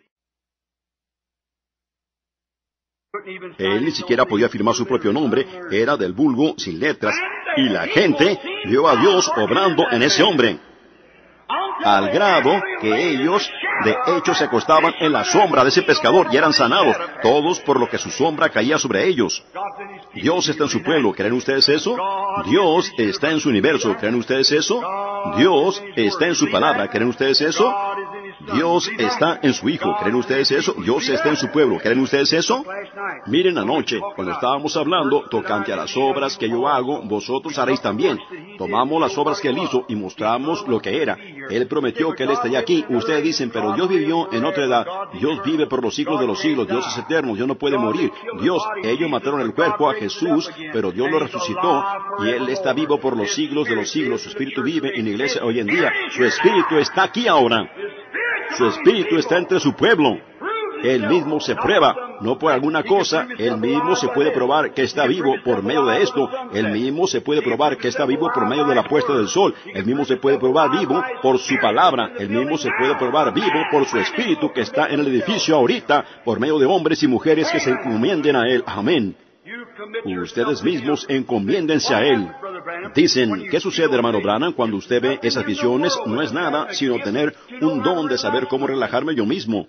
Hacer a William Branham a un lado. Ese es el enemigo más grande que yo tengo, William Branham. Él siempre está obstruyendo mi camino. Él siempre está obstruyendo el camino de Dios. Yo diría, Él siempre está obstruyendo el camino de Dios. Él está muy cansado. Él no quiere hacer esto. Él no quiere hacer eso. Si yo solo puedo crucificar a ese fulano, yo lo puedo usar. Dios puede usar este cuerpo. Aquí está este micrófono. Está mudo hasta que yo hablo a través de él o alguien más habla a través de él, pero él no puede hablar por sí mismo. ¿Cómo pudiera un hombre ver una visión? ¿Cómo pudiera un hombre sanar a una persona enferma? ¿Cómo pudiera el solo hecho de poner manos traer a un niño muerto a vida y demás? ¿Cómo se pudiera hacer? No es el hombre, es Dios en ese hombre. Lo mismo que Dios está en la puesta del sol. Dios está en todas partes. Queremos nacer de su espíritu y reconocerlo y estar pendientes de Él. Él está muy cerca de ustedes. Él no únicamente está cerca de ustedes. Ustedes sienten nacida de nuevo, sino Él ya está en ustedes tratando de que su voluntad. Y el diablo parado allí diciendo, no lo crean, no lo crean, no lo crean. Esto, eso, no. No es para ustedes, es para otro día. Oh, digan, apártate de mí, Satanás. Escrito está, las obras que yo hago, vosotros las haréis también. Así es como Jesús derrotó a Satanás. Él nunca usó su poder. Él era Dios manifestado en carne, pero él no usó su poder. Todos los dones que había en el cielo, él los tenía dentro de él, pero él no usó eso. Él sencillamente tomó la palabra del Padre. Él dijo, escrito está, al Señor tu Dios adorarás. Escrito está, escrito está, escrito está, escrito está. Y él derrotó a Satanás. Y la palabra de Dios derrotará a Satanás en donde quiera, en cualquier terreno, bajo cualquier condición. La palabra santa de Dios. Dios vive en su universo. Dios vive en su palabra. Dios vive en su Hijo. Dios vive en su pueblo. Él es Dios en donde quiera. Si ustedes solo le permiten a Él entrar ahora, ustedes verán a Dios vivir otra vez esta tarde entre nosotros. Inclinemos nuestros rostros.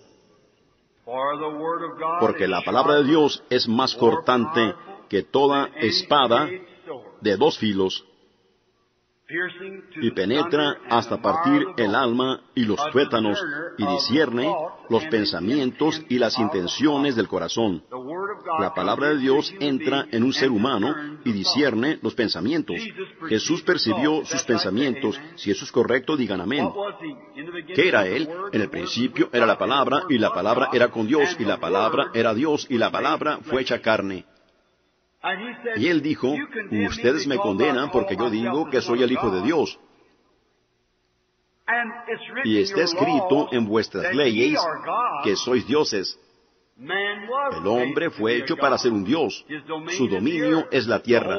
Toda la tierra está esperando ahora por la manifestación de los hijos de Dios, que sean manifestados. Miren cuán atrasados estamos.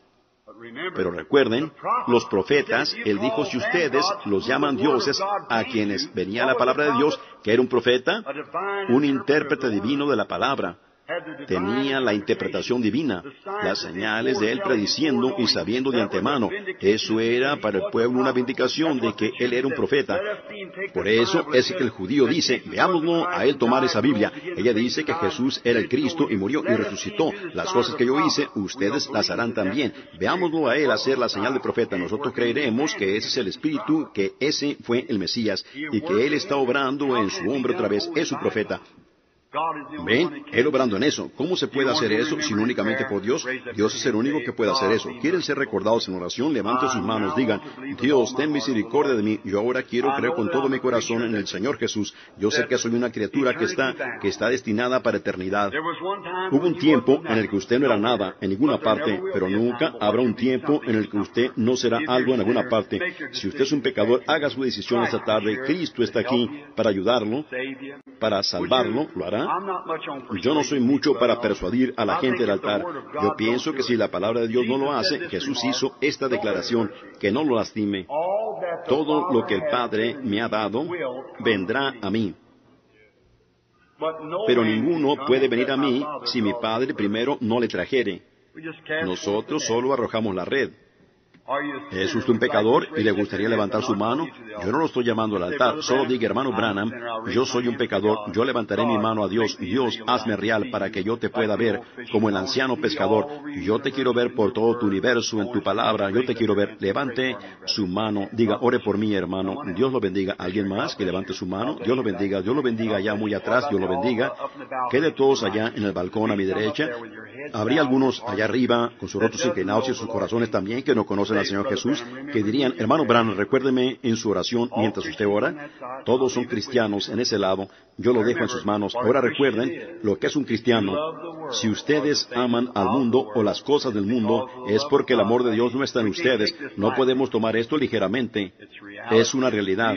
Es un nacimiento real, realmente pasar de muerte a vida. El balcón a mi izquierda. Habría allí algunos que levantarían su mano y dirían, yo no soy un cristiano, hermano Branham. Yo quisiera que usted me recordara en oración. Yo no le estoy levantando mi mano a usted. Como predicador, yo le estoy levantando mi mano a Dios. Que Él sea misericordioso conmigo ¿Hay alguno? Muy bien. En el piso de abajo otra vez, vayamos allá. Hay otro. Para yo estar seguro de saber que estoy llorando, yo creo que Dios oye mi oración. Él me dijo, si tú eres sincero y haces que la gente te crea, nada se opondrá delante de tu oración. Yo dije, ellos no me creerán porque no tengo educación. Él dijo, como a Moisés le fueron dadas dos señales para indicar que él fue enviado allá para liberar, así también se te han dado a ti dos señales. Levante su mano, diga, me gustaría ser recordado en oración, hermano Branham, si hay otro en el piso que no ha levantado su mano. Muy bien. Nuestro Padre Celestial, yo los encomiendo a ti. Hubo manos esta tarde que fueron levantadas. Hubo dos en el piso de abajo de lo que yo vi. Ahora, Señor, te pido que tú toques esas personas en esta hora. La gente se siente satisfecha que tú estás con ella. Y te doy gracias por eso. Ahora, Padre, si hay una sola sombra de duda, que no se queden ellos debajo de eso, que ellos estén absolutamente seguros, porque esa mañana va a ser una mañana terrible. La neblina estará espesa en el río.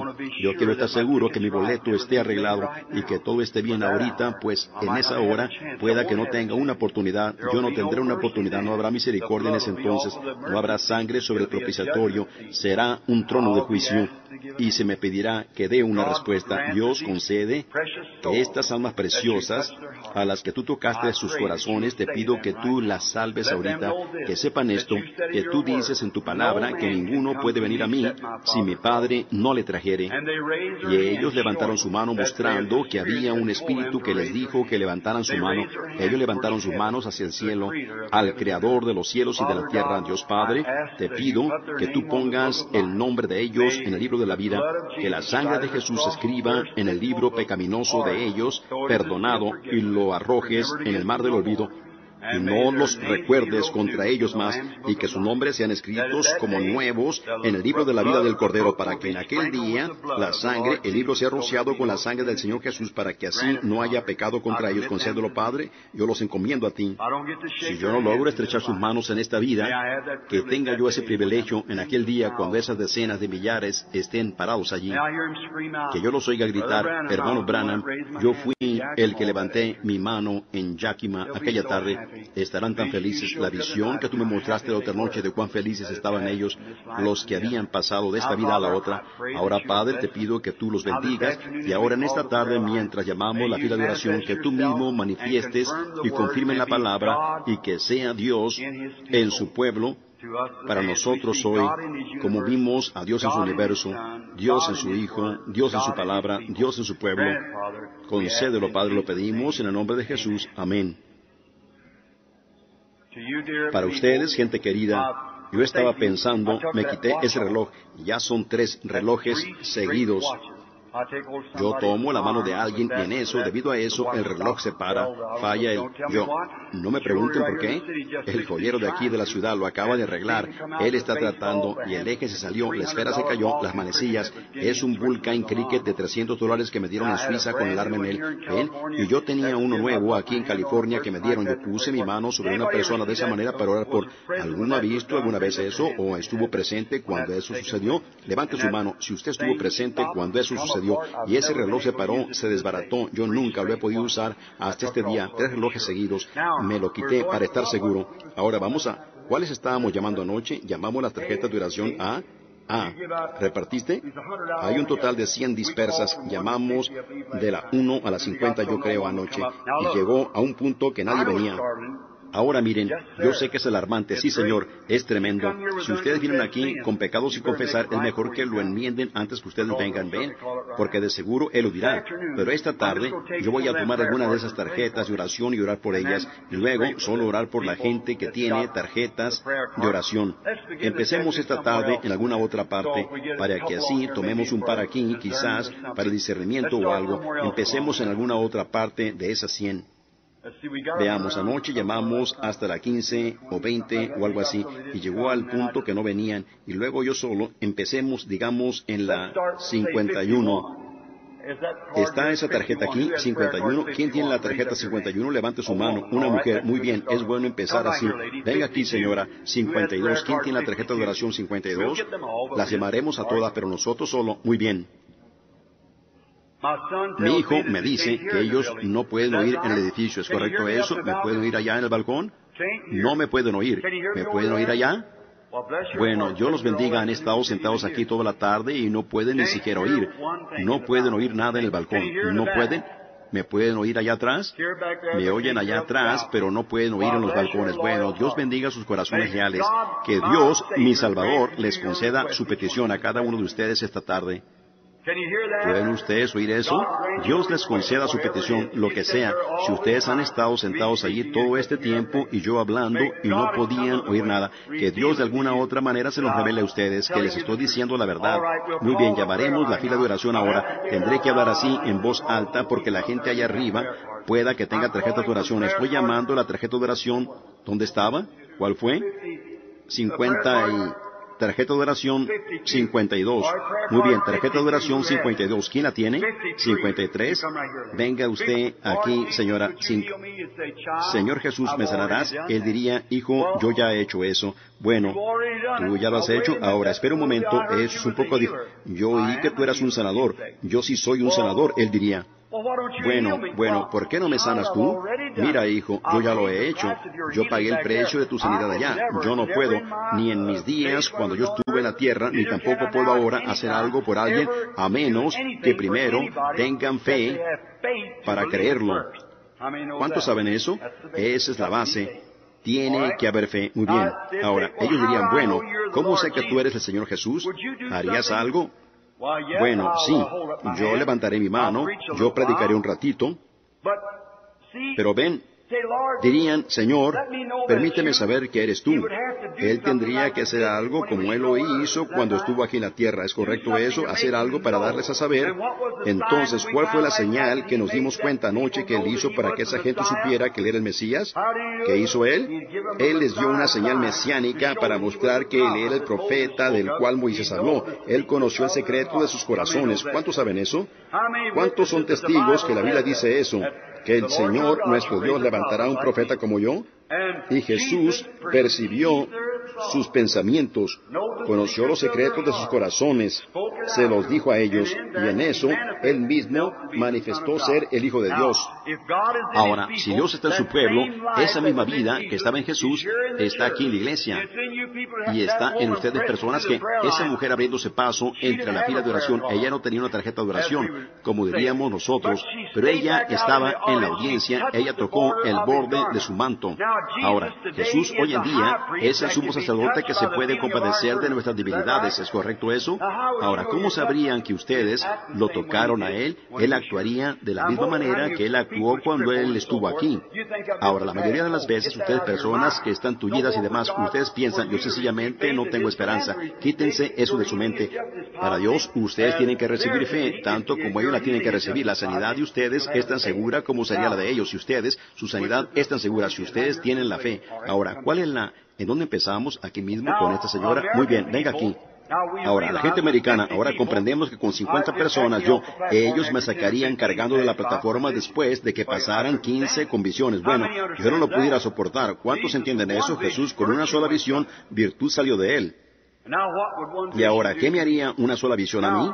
Ahora, aquí está una mujer tullida en una silla de ruedas. Yo diría, esa mujer está tullida, cualquiera sabe eso. Pero aquí está una mujer que se mira saludable. Ahora, el milagro es, ¿qué está mal en ella? Ella se mira bien y saludable. Ahora, si cualquiera tiene una duda de esto y piensa que usted tiene una manera mejor, bueno, aquí está el micrófono, venga usted aquí arriba, usted, usted es más que bienvenido a venir. Usted que no, no cree, venga aquí arriba y haga la misma cosa. Usted dice, bueno, Jesús dijo, las obras que yo hago, vosotros las haréis también, mayores. Bueno, usted dijo que Él dijo, mayores.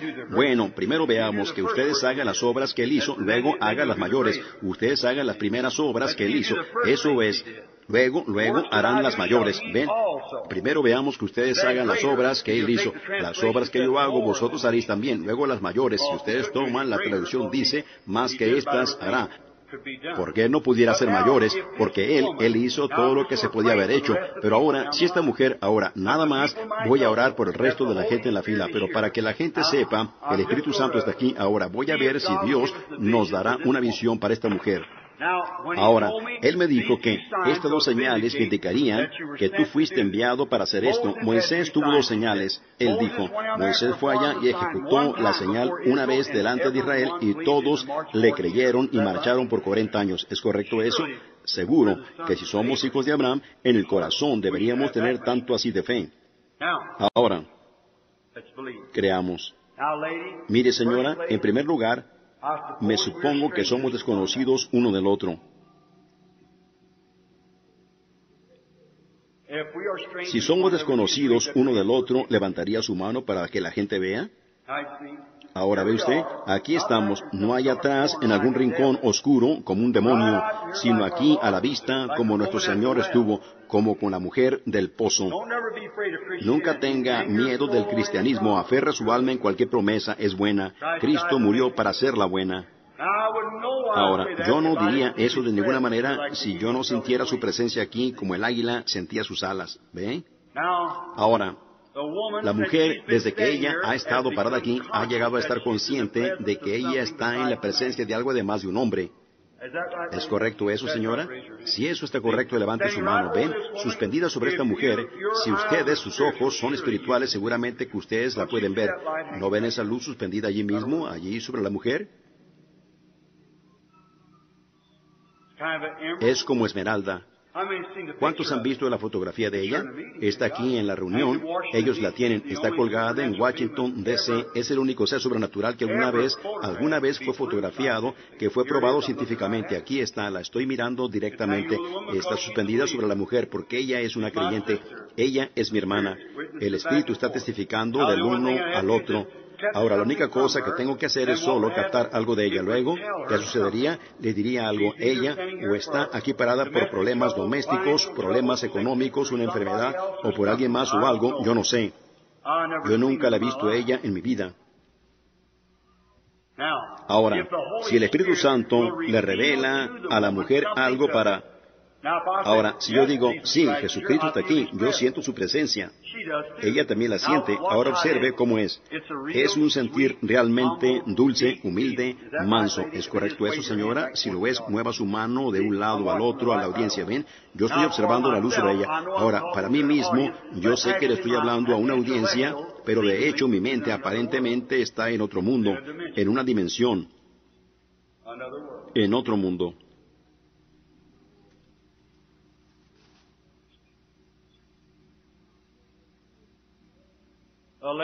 La señora tiene problemas, está en su pecho. Tiene crecimientos. Son crecimientos cancerosos. Ella ha tenido una operación o algo debido a eso. Y están, están regresando crecimientos en su pecho que finalmente matarán a la mujer. Ella está sombreada de muerte. Si eso es correcto, señora, mueva su mano. ¿Creen ustedes ahora? Miren, para que ustedes puedan saber, observar el poder demoníaco cobrar.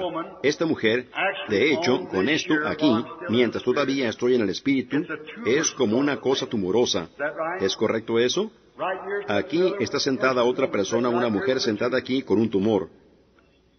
¿Es correcto eso, señora? Si es, levante su mano. Pero además de eso, usted también tiene diabetes. Eso es, levante su mano. ¿Ve?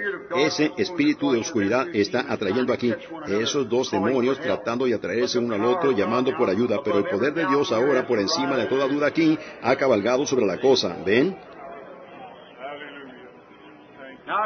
Ahora, ¿creen ustedes? ¿Está Dios en su pueblo? Ustedes dicen, ¿está Dios en usted? Hermano Brown, no únicamente a mí, sino que está en ella, y en ella también. Ven, aquí está el Espíritu Santo, el cual es infalible. Hay un poder de muerte en ambas, y esas dos muertes están tratando de cooperar juntas, mientras el poder de Dios lo está revelando, abriendo y mostrando que Él ama a esas mujeres. Él quiere que ellas sean sanadas. ¿Lo creen ustedes? Ahora, por favor, por favor, no se levanten de sus asientos. Miren, ustedes romperán el mismísimo canal de eso. ¿Ven ustedes? No hagan eso, por favor, por favor. ¿Saben ustedes que estas cosas pasan de uno al otro? Sean muy reverentes todos. Señora, si Dios me dice quién es usted, ¿le daría eso a usted mucha fe para creer? Su nombre es Señor Amor. Siga su camino. Ustedes dos las dejó ambas de ustedes ahorita. Ustedes están sanadas. Sigan su camino y sean saludables. Digamos, alabado el Señor, ¿obra ese don? Ahora, ¿cuántos recuerdan cuando estuve aquí y ponía mi mano sobre alguien y ustedes veían algo como una vibración sobre ella? Ahora, si esta mujer tiene una enfermedad de germen, obrará. Si no es una enfermedad de germen, no obrará, porque se tendrá que ver por una visión. Yo no sé. ¿Es usted el siguiente paciente? Yo no estoy fuera de sí, pero es que algunas veces yo... Venga aquí solo un momento, jovencita. Permítame tener su mano solo un momento. Esta mano derecha aquí, correctamente. Sí, es una enfermedad de germen. Sí, señor. Ella tiene una infección. Ahora, es un problema de señora. Problema de mujer. Correcto. Si eso es correcto, levante su mano. Eso está exactamente correcto. Ven, ella tiene una infección. Ese es un germen. Aquí está en mi mano. Yo quiero mostrarle algo, jovencita. Mire aquí. Mire mi mano. Ve esas cositas blancas moviéndose allí sobre mi mano, algo hinchada que se miran rojo oscuro. Ahora, Quite su mano de la mía ahora, no está allí ahora. Ahora ponga esta mano aquí sobre ella, no está allí ahora. No está allí ahora.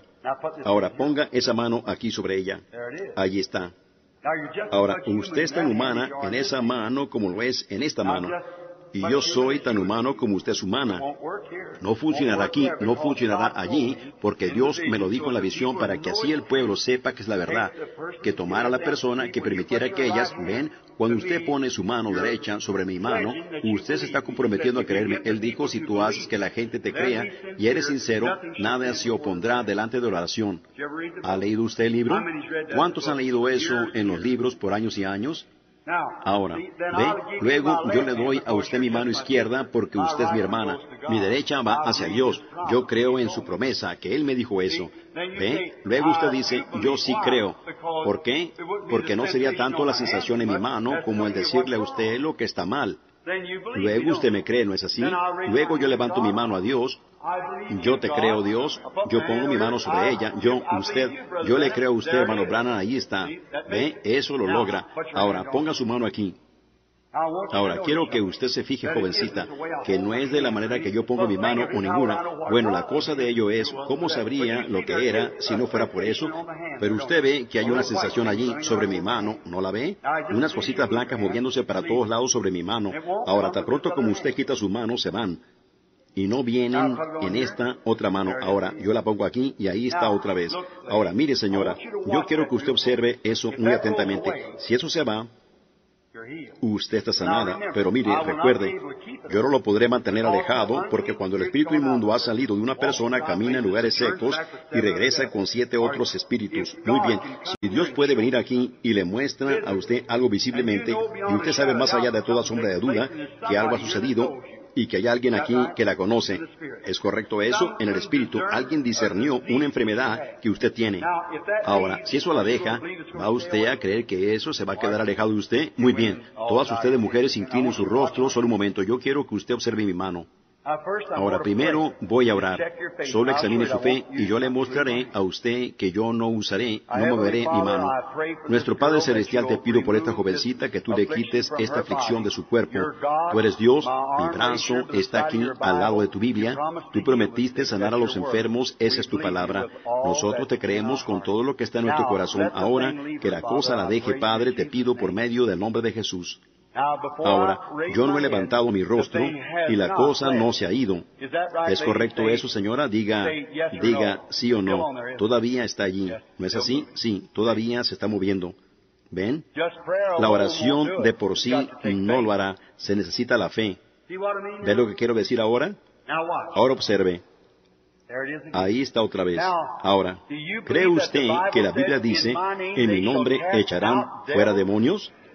Ahora, usted tiene que tener cuidado lo que usted está haciendo tocante a eso. Usted tiene que tener cuidado porque recuerde que Moisés hirió la roca cuando no lo debió hacer. Eliseo maldijo cuarenta y dos niños y los osos los mataron antes que ellos regresaran porque dijeron que él estaba calvo. Se burlaron respecto a eso. No fue la voluntad de Dios el hacer eso. Eso nos suena como el Espíritu Santo. Era un profeta enojado. Ahora, yo quiero que usted observe eso, muchachita. Usted observe mi mano. Sea honesta. ¿Ve? Ahora, si esa mano se torna como esta, se ha ido sin yo moverla. Ahora, incline sus rostros en todas partes porque uno ahorita lo tiene que forzar a que se vaya. Si uno lo forza a que se vaya, se enoja y sabemos que pasará de uno a otro. Satanás, un ángel de Dios vino hace 14 años en Greens Mill una noche y me dijo, siendo un ministro local, que yo había sido enviado para orar por los enfermos y esto es lo que me dijo. Tú estás consciente de eso, tú estás expuesto, tú puedes poner incredulidad en el pueblo, tú puedes hacer que la gente dude, pero no puedes hacer nada con Cristo porque Él te ha quitado todo derecho legal que alguna vez tuviste. Cuando Él murió en el Calvario, Él pagó la deuda de todo nuestro pecado e incredulidad. Dios les ha dado a su siervo poder para echarte fuera. Yo uso su nombre. Yo vengo en el nombre de Jesucristo. Yo te desafío en este duelo de fe. Deja a la muchacha, sal de ella en el nombre de Jesucristo. Ahora, antes que yo levantara mi rostro, abriera mis ojos, la cosa se había ido. ¿Es correcto eso? Ahora, abra sus ojos. Algo sucedió, ¿no es así? Usted aún se siente diferente, ¿no es así? Ahora, mire aquí, ahí está. Ahora espere, yo quitaré mi mano de la suya, ahora ponga esta mano sobre ella, como lo hizo hace un rato. ¿Ve cómo se mira? Ahora ponga esta mano sobre ella, como lo hizo hace un rato. ¿Ve cómo se mira? Algo sucedió, ¿no es así? Usted está sanada. Eso es lo que es. Siga adelante su camino regocijándose, diciendo gracias. Ahora, veamos la mano de este hombre solo un momento. Él tiene un poco de problema de la próstata que lo hace nervioso, que se levante o algo, pero eso es correcto. Usted se levanta durante la noche, pero eso no es realmente lo que usted quiere, porque yo siento su espíritu moviéndose a algo más. Muy bien, ¿piensa usted que va a estar tullido? ¿Piensa usted que esa artritis lo tullirá o algo? ¿Cree usted que Dios lo va a sanar ahora? Amén. Él ya lo ha hecho. Bájese caminando y regocíjese y grite diciendo alabado sea el Señor. Veamos a usted, Señor. Venga aquí un momento. Permítame tener su mano. Sí, Señor, problema del estómago. ¿Cree usted que Dios sanará eso? En el nombre de Jesucristo, que el diablo deje a este muchacho. Sal de él en el nombre de Jesús. Amén. Váyase creyendo. Muy bien, venga. ¿Por el bebé? Ahora, veamos su manita. Solo un momento. ¿Cómo estás, muchachito? Hola, amigo. Sí, señor. No, no es. No es infección. Un momento. Ahora, ¿cree usted que si Dios me puede decir que está mal en el bebé, que Dios lo sanará, aceptará a Jesús como el sanador de ese bebé? Es problema del corazón. Es un corazón muy enfermo. Los doctores no saben aún qué hacer tocante a ello. Correcto, pero Dios sí sabe qué hacer tocante a ello. Satanás deja al niño en el nombre de Jesús. Yo condeno al diablo y pido por su sanidad. Amén. Lléveselo ahora. Crea con todo su corazón y Él sanará. Venga, ¿Cómo estás, cariño? ¿Crees a Jesús? Veamos la manita de él. Bueno, sí. ¿Cree que el problema del riñón se irá de él y mejorará y sanará? ¿Cree con todo su corazón que Cristo lo sanará a él? Señor Jesús, yo condeno al diablo que ha dañado a este niño, que lo deje en el nombre de Jesucristo. Amén. Tenga fe, crea ahora, no dude. Váyase creyendo y si usted lo cree con todo su corazón, sucederá. Ahora, veamos su mano. Es una condición asmática, pero ¿cree usted que Dios puede sanar eso y hacerla saludable? ¿Lo aceptará Él como su sanador? Yo condeno al diablo que ha dañado a nuestra hermana en el nombre de Jesucristo. Deja a la mujer. Váyase creyendo ahora, no dude. Si no crea con todo su corazón. ¿Cuántos allá que no tienen tarjetas de oración creerán? ¿Cuántos de ustedes de hecho dirán, yo creo?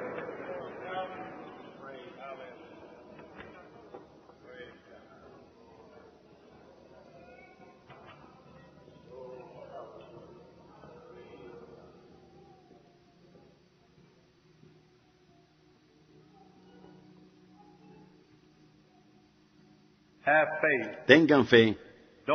No duden. ¿Cree usted que el artritis lo dejará? El hombre sentado allá mirándome, allá atrás, el hombre algo anciano, si usted cree con todo su corazón, Dios lo sanará. Ahí está sentado un hombre con una hernia.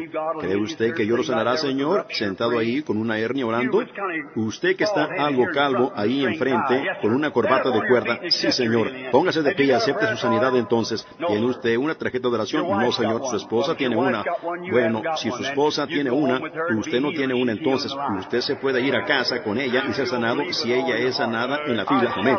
Si ustedes creen con todo su corazón, yo los desafío a creer que es la verdad. ¿Lo creen todos ustedes? Entonces tengan fe en Dios. Algo sucedió en alguna parte. ¿No era esta persona? ¿Cree usted que Dios la sanará? Señor, en el nombre de Jesús, sana a la mujer. Amén. Ahora, váyase creyendo con todo su corazón. Si usted puede creer esto y no lo duda, sucederá. Venga, hermana. Mire, usted sabe que yo sé lo que está mal en usted, pero si yo, si yo no le digo, ¿lo creerá usted de todas maneras? ¿No lo creerá usted? Sí, señora, pero yo solo le diré a usted que su nerviosismo se ha ido de usted. Usted se puede ir a casa y ser sanada. Así que no dude. Cuando usted estaba sentada allí, el problema del corazón la dejó, así que solo siga adelante caminando, diga, alabado sea Jesús. ¿Ven? Ahora, si yo no le digo a usted una sola cosa, lo aceptará usted y creerá que todo está bien. Muy bien, el problema de su espalda se ha terminado. Solo vaya a casa y sea sano y tenga, tenga fe en Dios. Crea con todo, todo su corazón. Señor Jesús, te pido que tú sanes a la mujer en el nombre de Jesús. Venga ahora creyendo con todo su corazón en el nombre de Jesús que nuestro hermano se ha sanado. Ahora ven, ellos están sanando de igual manera. ¿Lo creen ustedes? Venga hermana, en el nombre de Jesucristo que nuestra hermana sea sanada. Tenga fe, no dude. Vemos que el pobre hermano está afligido. ¿Cree usted que Dios lo sanará, Señor? En el nombre de Jesucristo, que nuestro hermano sea sanado. No dude, váyase creyendo ahora y usted sanará. Venga, Señor, en el nombre de Jesucristo yo pongo mis manos sobre usted, hermano. Y la Biblia dice, estas señales seguirán a los creyentes. En el nombre de Jesús sea sanado. ¿Cree usted, hermana? En el nombre de Jesucristo, que ellos sean sanados. Amén. No estoy buscando visiones porque me estoy debilitando tanto ahora que siento mis piernas temblando debajo de mí. En el nombre de Jesucristo, que ellos sean sanados. ¿Ustedes lo creen ahora? ¿No lo creen? ¿Van a creer? En el nombre de Jesucristo, que ellos sean sanados. Amén. Venga, damita, ¿va usted a creer? En el nombre de Jesucristo, que la hermana sea sanada. En el nombre de Jesucristo, que nuestra hermana sea sanada. Venga, hermano, ¿va usted a creer esto ahora? ¿Lo va a creer? En el nombre de Jesucristo, que nuestro hermano sea sanado. Venga, hermana. Por supuesto, usted sabe lo que. En el nombre de Jesucristo, que nuestra hermana sea sanada. En el nombre de Jesucristo, que nuestra hermana sea sanada. En el nombre de Jesucristo, que nuestra hermana sea sanada. En el nombre de Jesucristo, que nuestra hermana sea sanada. En el nombre de Jesucristo, que nuestro hermano sea sanado. Dios lo bendiga, hermano. En el nombre de Jesucristo, que usted sea sanado. Venga, hermana. En el nombre de Jesucristo, que ella sea sanada. En el nombre de Jesucristo, que ella sea sanada. Venga, hermano, crea ahora y lo dejará usted. En el nombre de Jesucristo, que mi hermano sea sanado. En el nombre de Jesucristo, que mi hermano sea sanado. Venga, hermano. En el nombre de Jesucristo, que mi hermano sea sanado. ¿Están ustedes dudando? ¿Están, están, están ustedes dudando con todo su corazón? ¿O están ustedes creyendo con todo su corazón? ¿Creen ustedes? Ahora, yo nunca usé el discernimiento. Yo sabía lo que estaba mal en la gente. Ustedes están conscientes de eso, ¿verdad? Miren, ¿es esta? Yo todavía tengo al paciente en mi mano. Mire aquí, Señor, yo solo dije, Dios lo bendiga. Eso es todo lo que dije. Siga caminando. ¿Es correcto eso? ¿Cree que usted está sanado de todas maneras? Muy bien, usted tenía cáncer y eso estaba en el hueso de la pelvis. Su nombre es el señor Peterson. Váyase a casa y sea sanado. ¿Ven? ¿Ven? Eso es. Solo creerlo. Sentado allí con eczema, ¿Cree usted que Dios lo sanará? ¿Lo hará saludable? ¿Tiene usted una tarjeta de oración? ¿No tiene usted? ¿Cree usted que Dios lo sanará de todas maneras? Muy bien, reciba su sanidad. Jesucristo lo sana. Amén. ¿Creen ustedes con todo su corazón, cada uno de ustedes? ¿Cuántos creen que Dios está en su universo? Dios está en su palabra. Dios está en su Hijo. Dios está en su pueblo. Ahora, ¿cuántos sienten que ustedes tienen a Dios en su corazón? Levanten su mano. Muy bien. Ahora, pongan sus manos unos sobre los otros y sigan orando unos por los otros mientras me bajo y oro por esas personas en las sillas de ruedas. Hermano Roy, diríjalos en oración. Mientras usted ponga sus manos unos sobre los otros, solo ponga sus manos unos sobre los otros. Crean con todo su corazón. Señor Jesús, ven ahora. Tú estás aquí con el Dios está en su pueblo, ellos sean sanados cada uno de ellos mientras estamos orando. Mantengan sus manos unos sobre los otros, sigan orando, Dios está en su pueblo. Crean eso mientras yo oro por estos.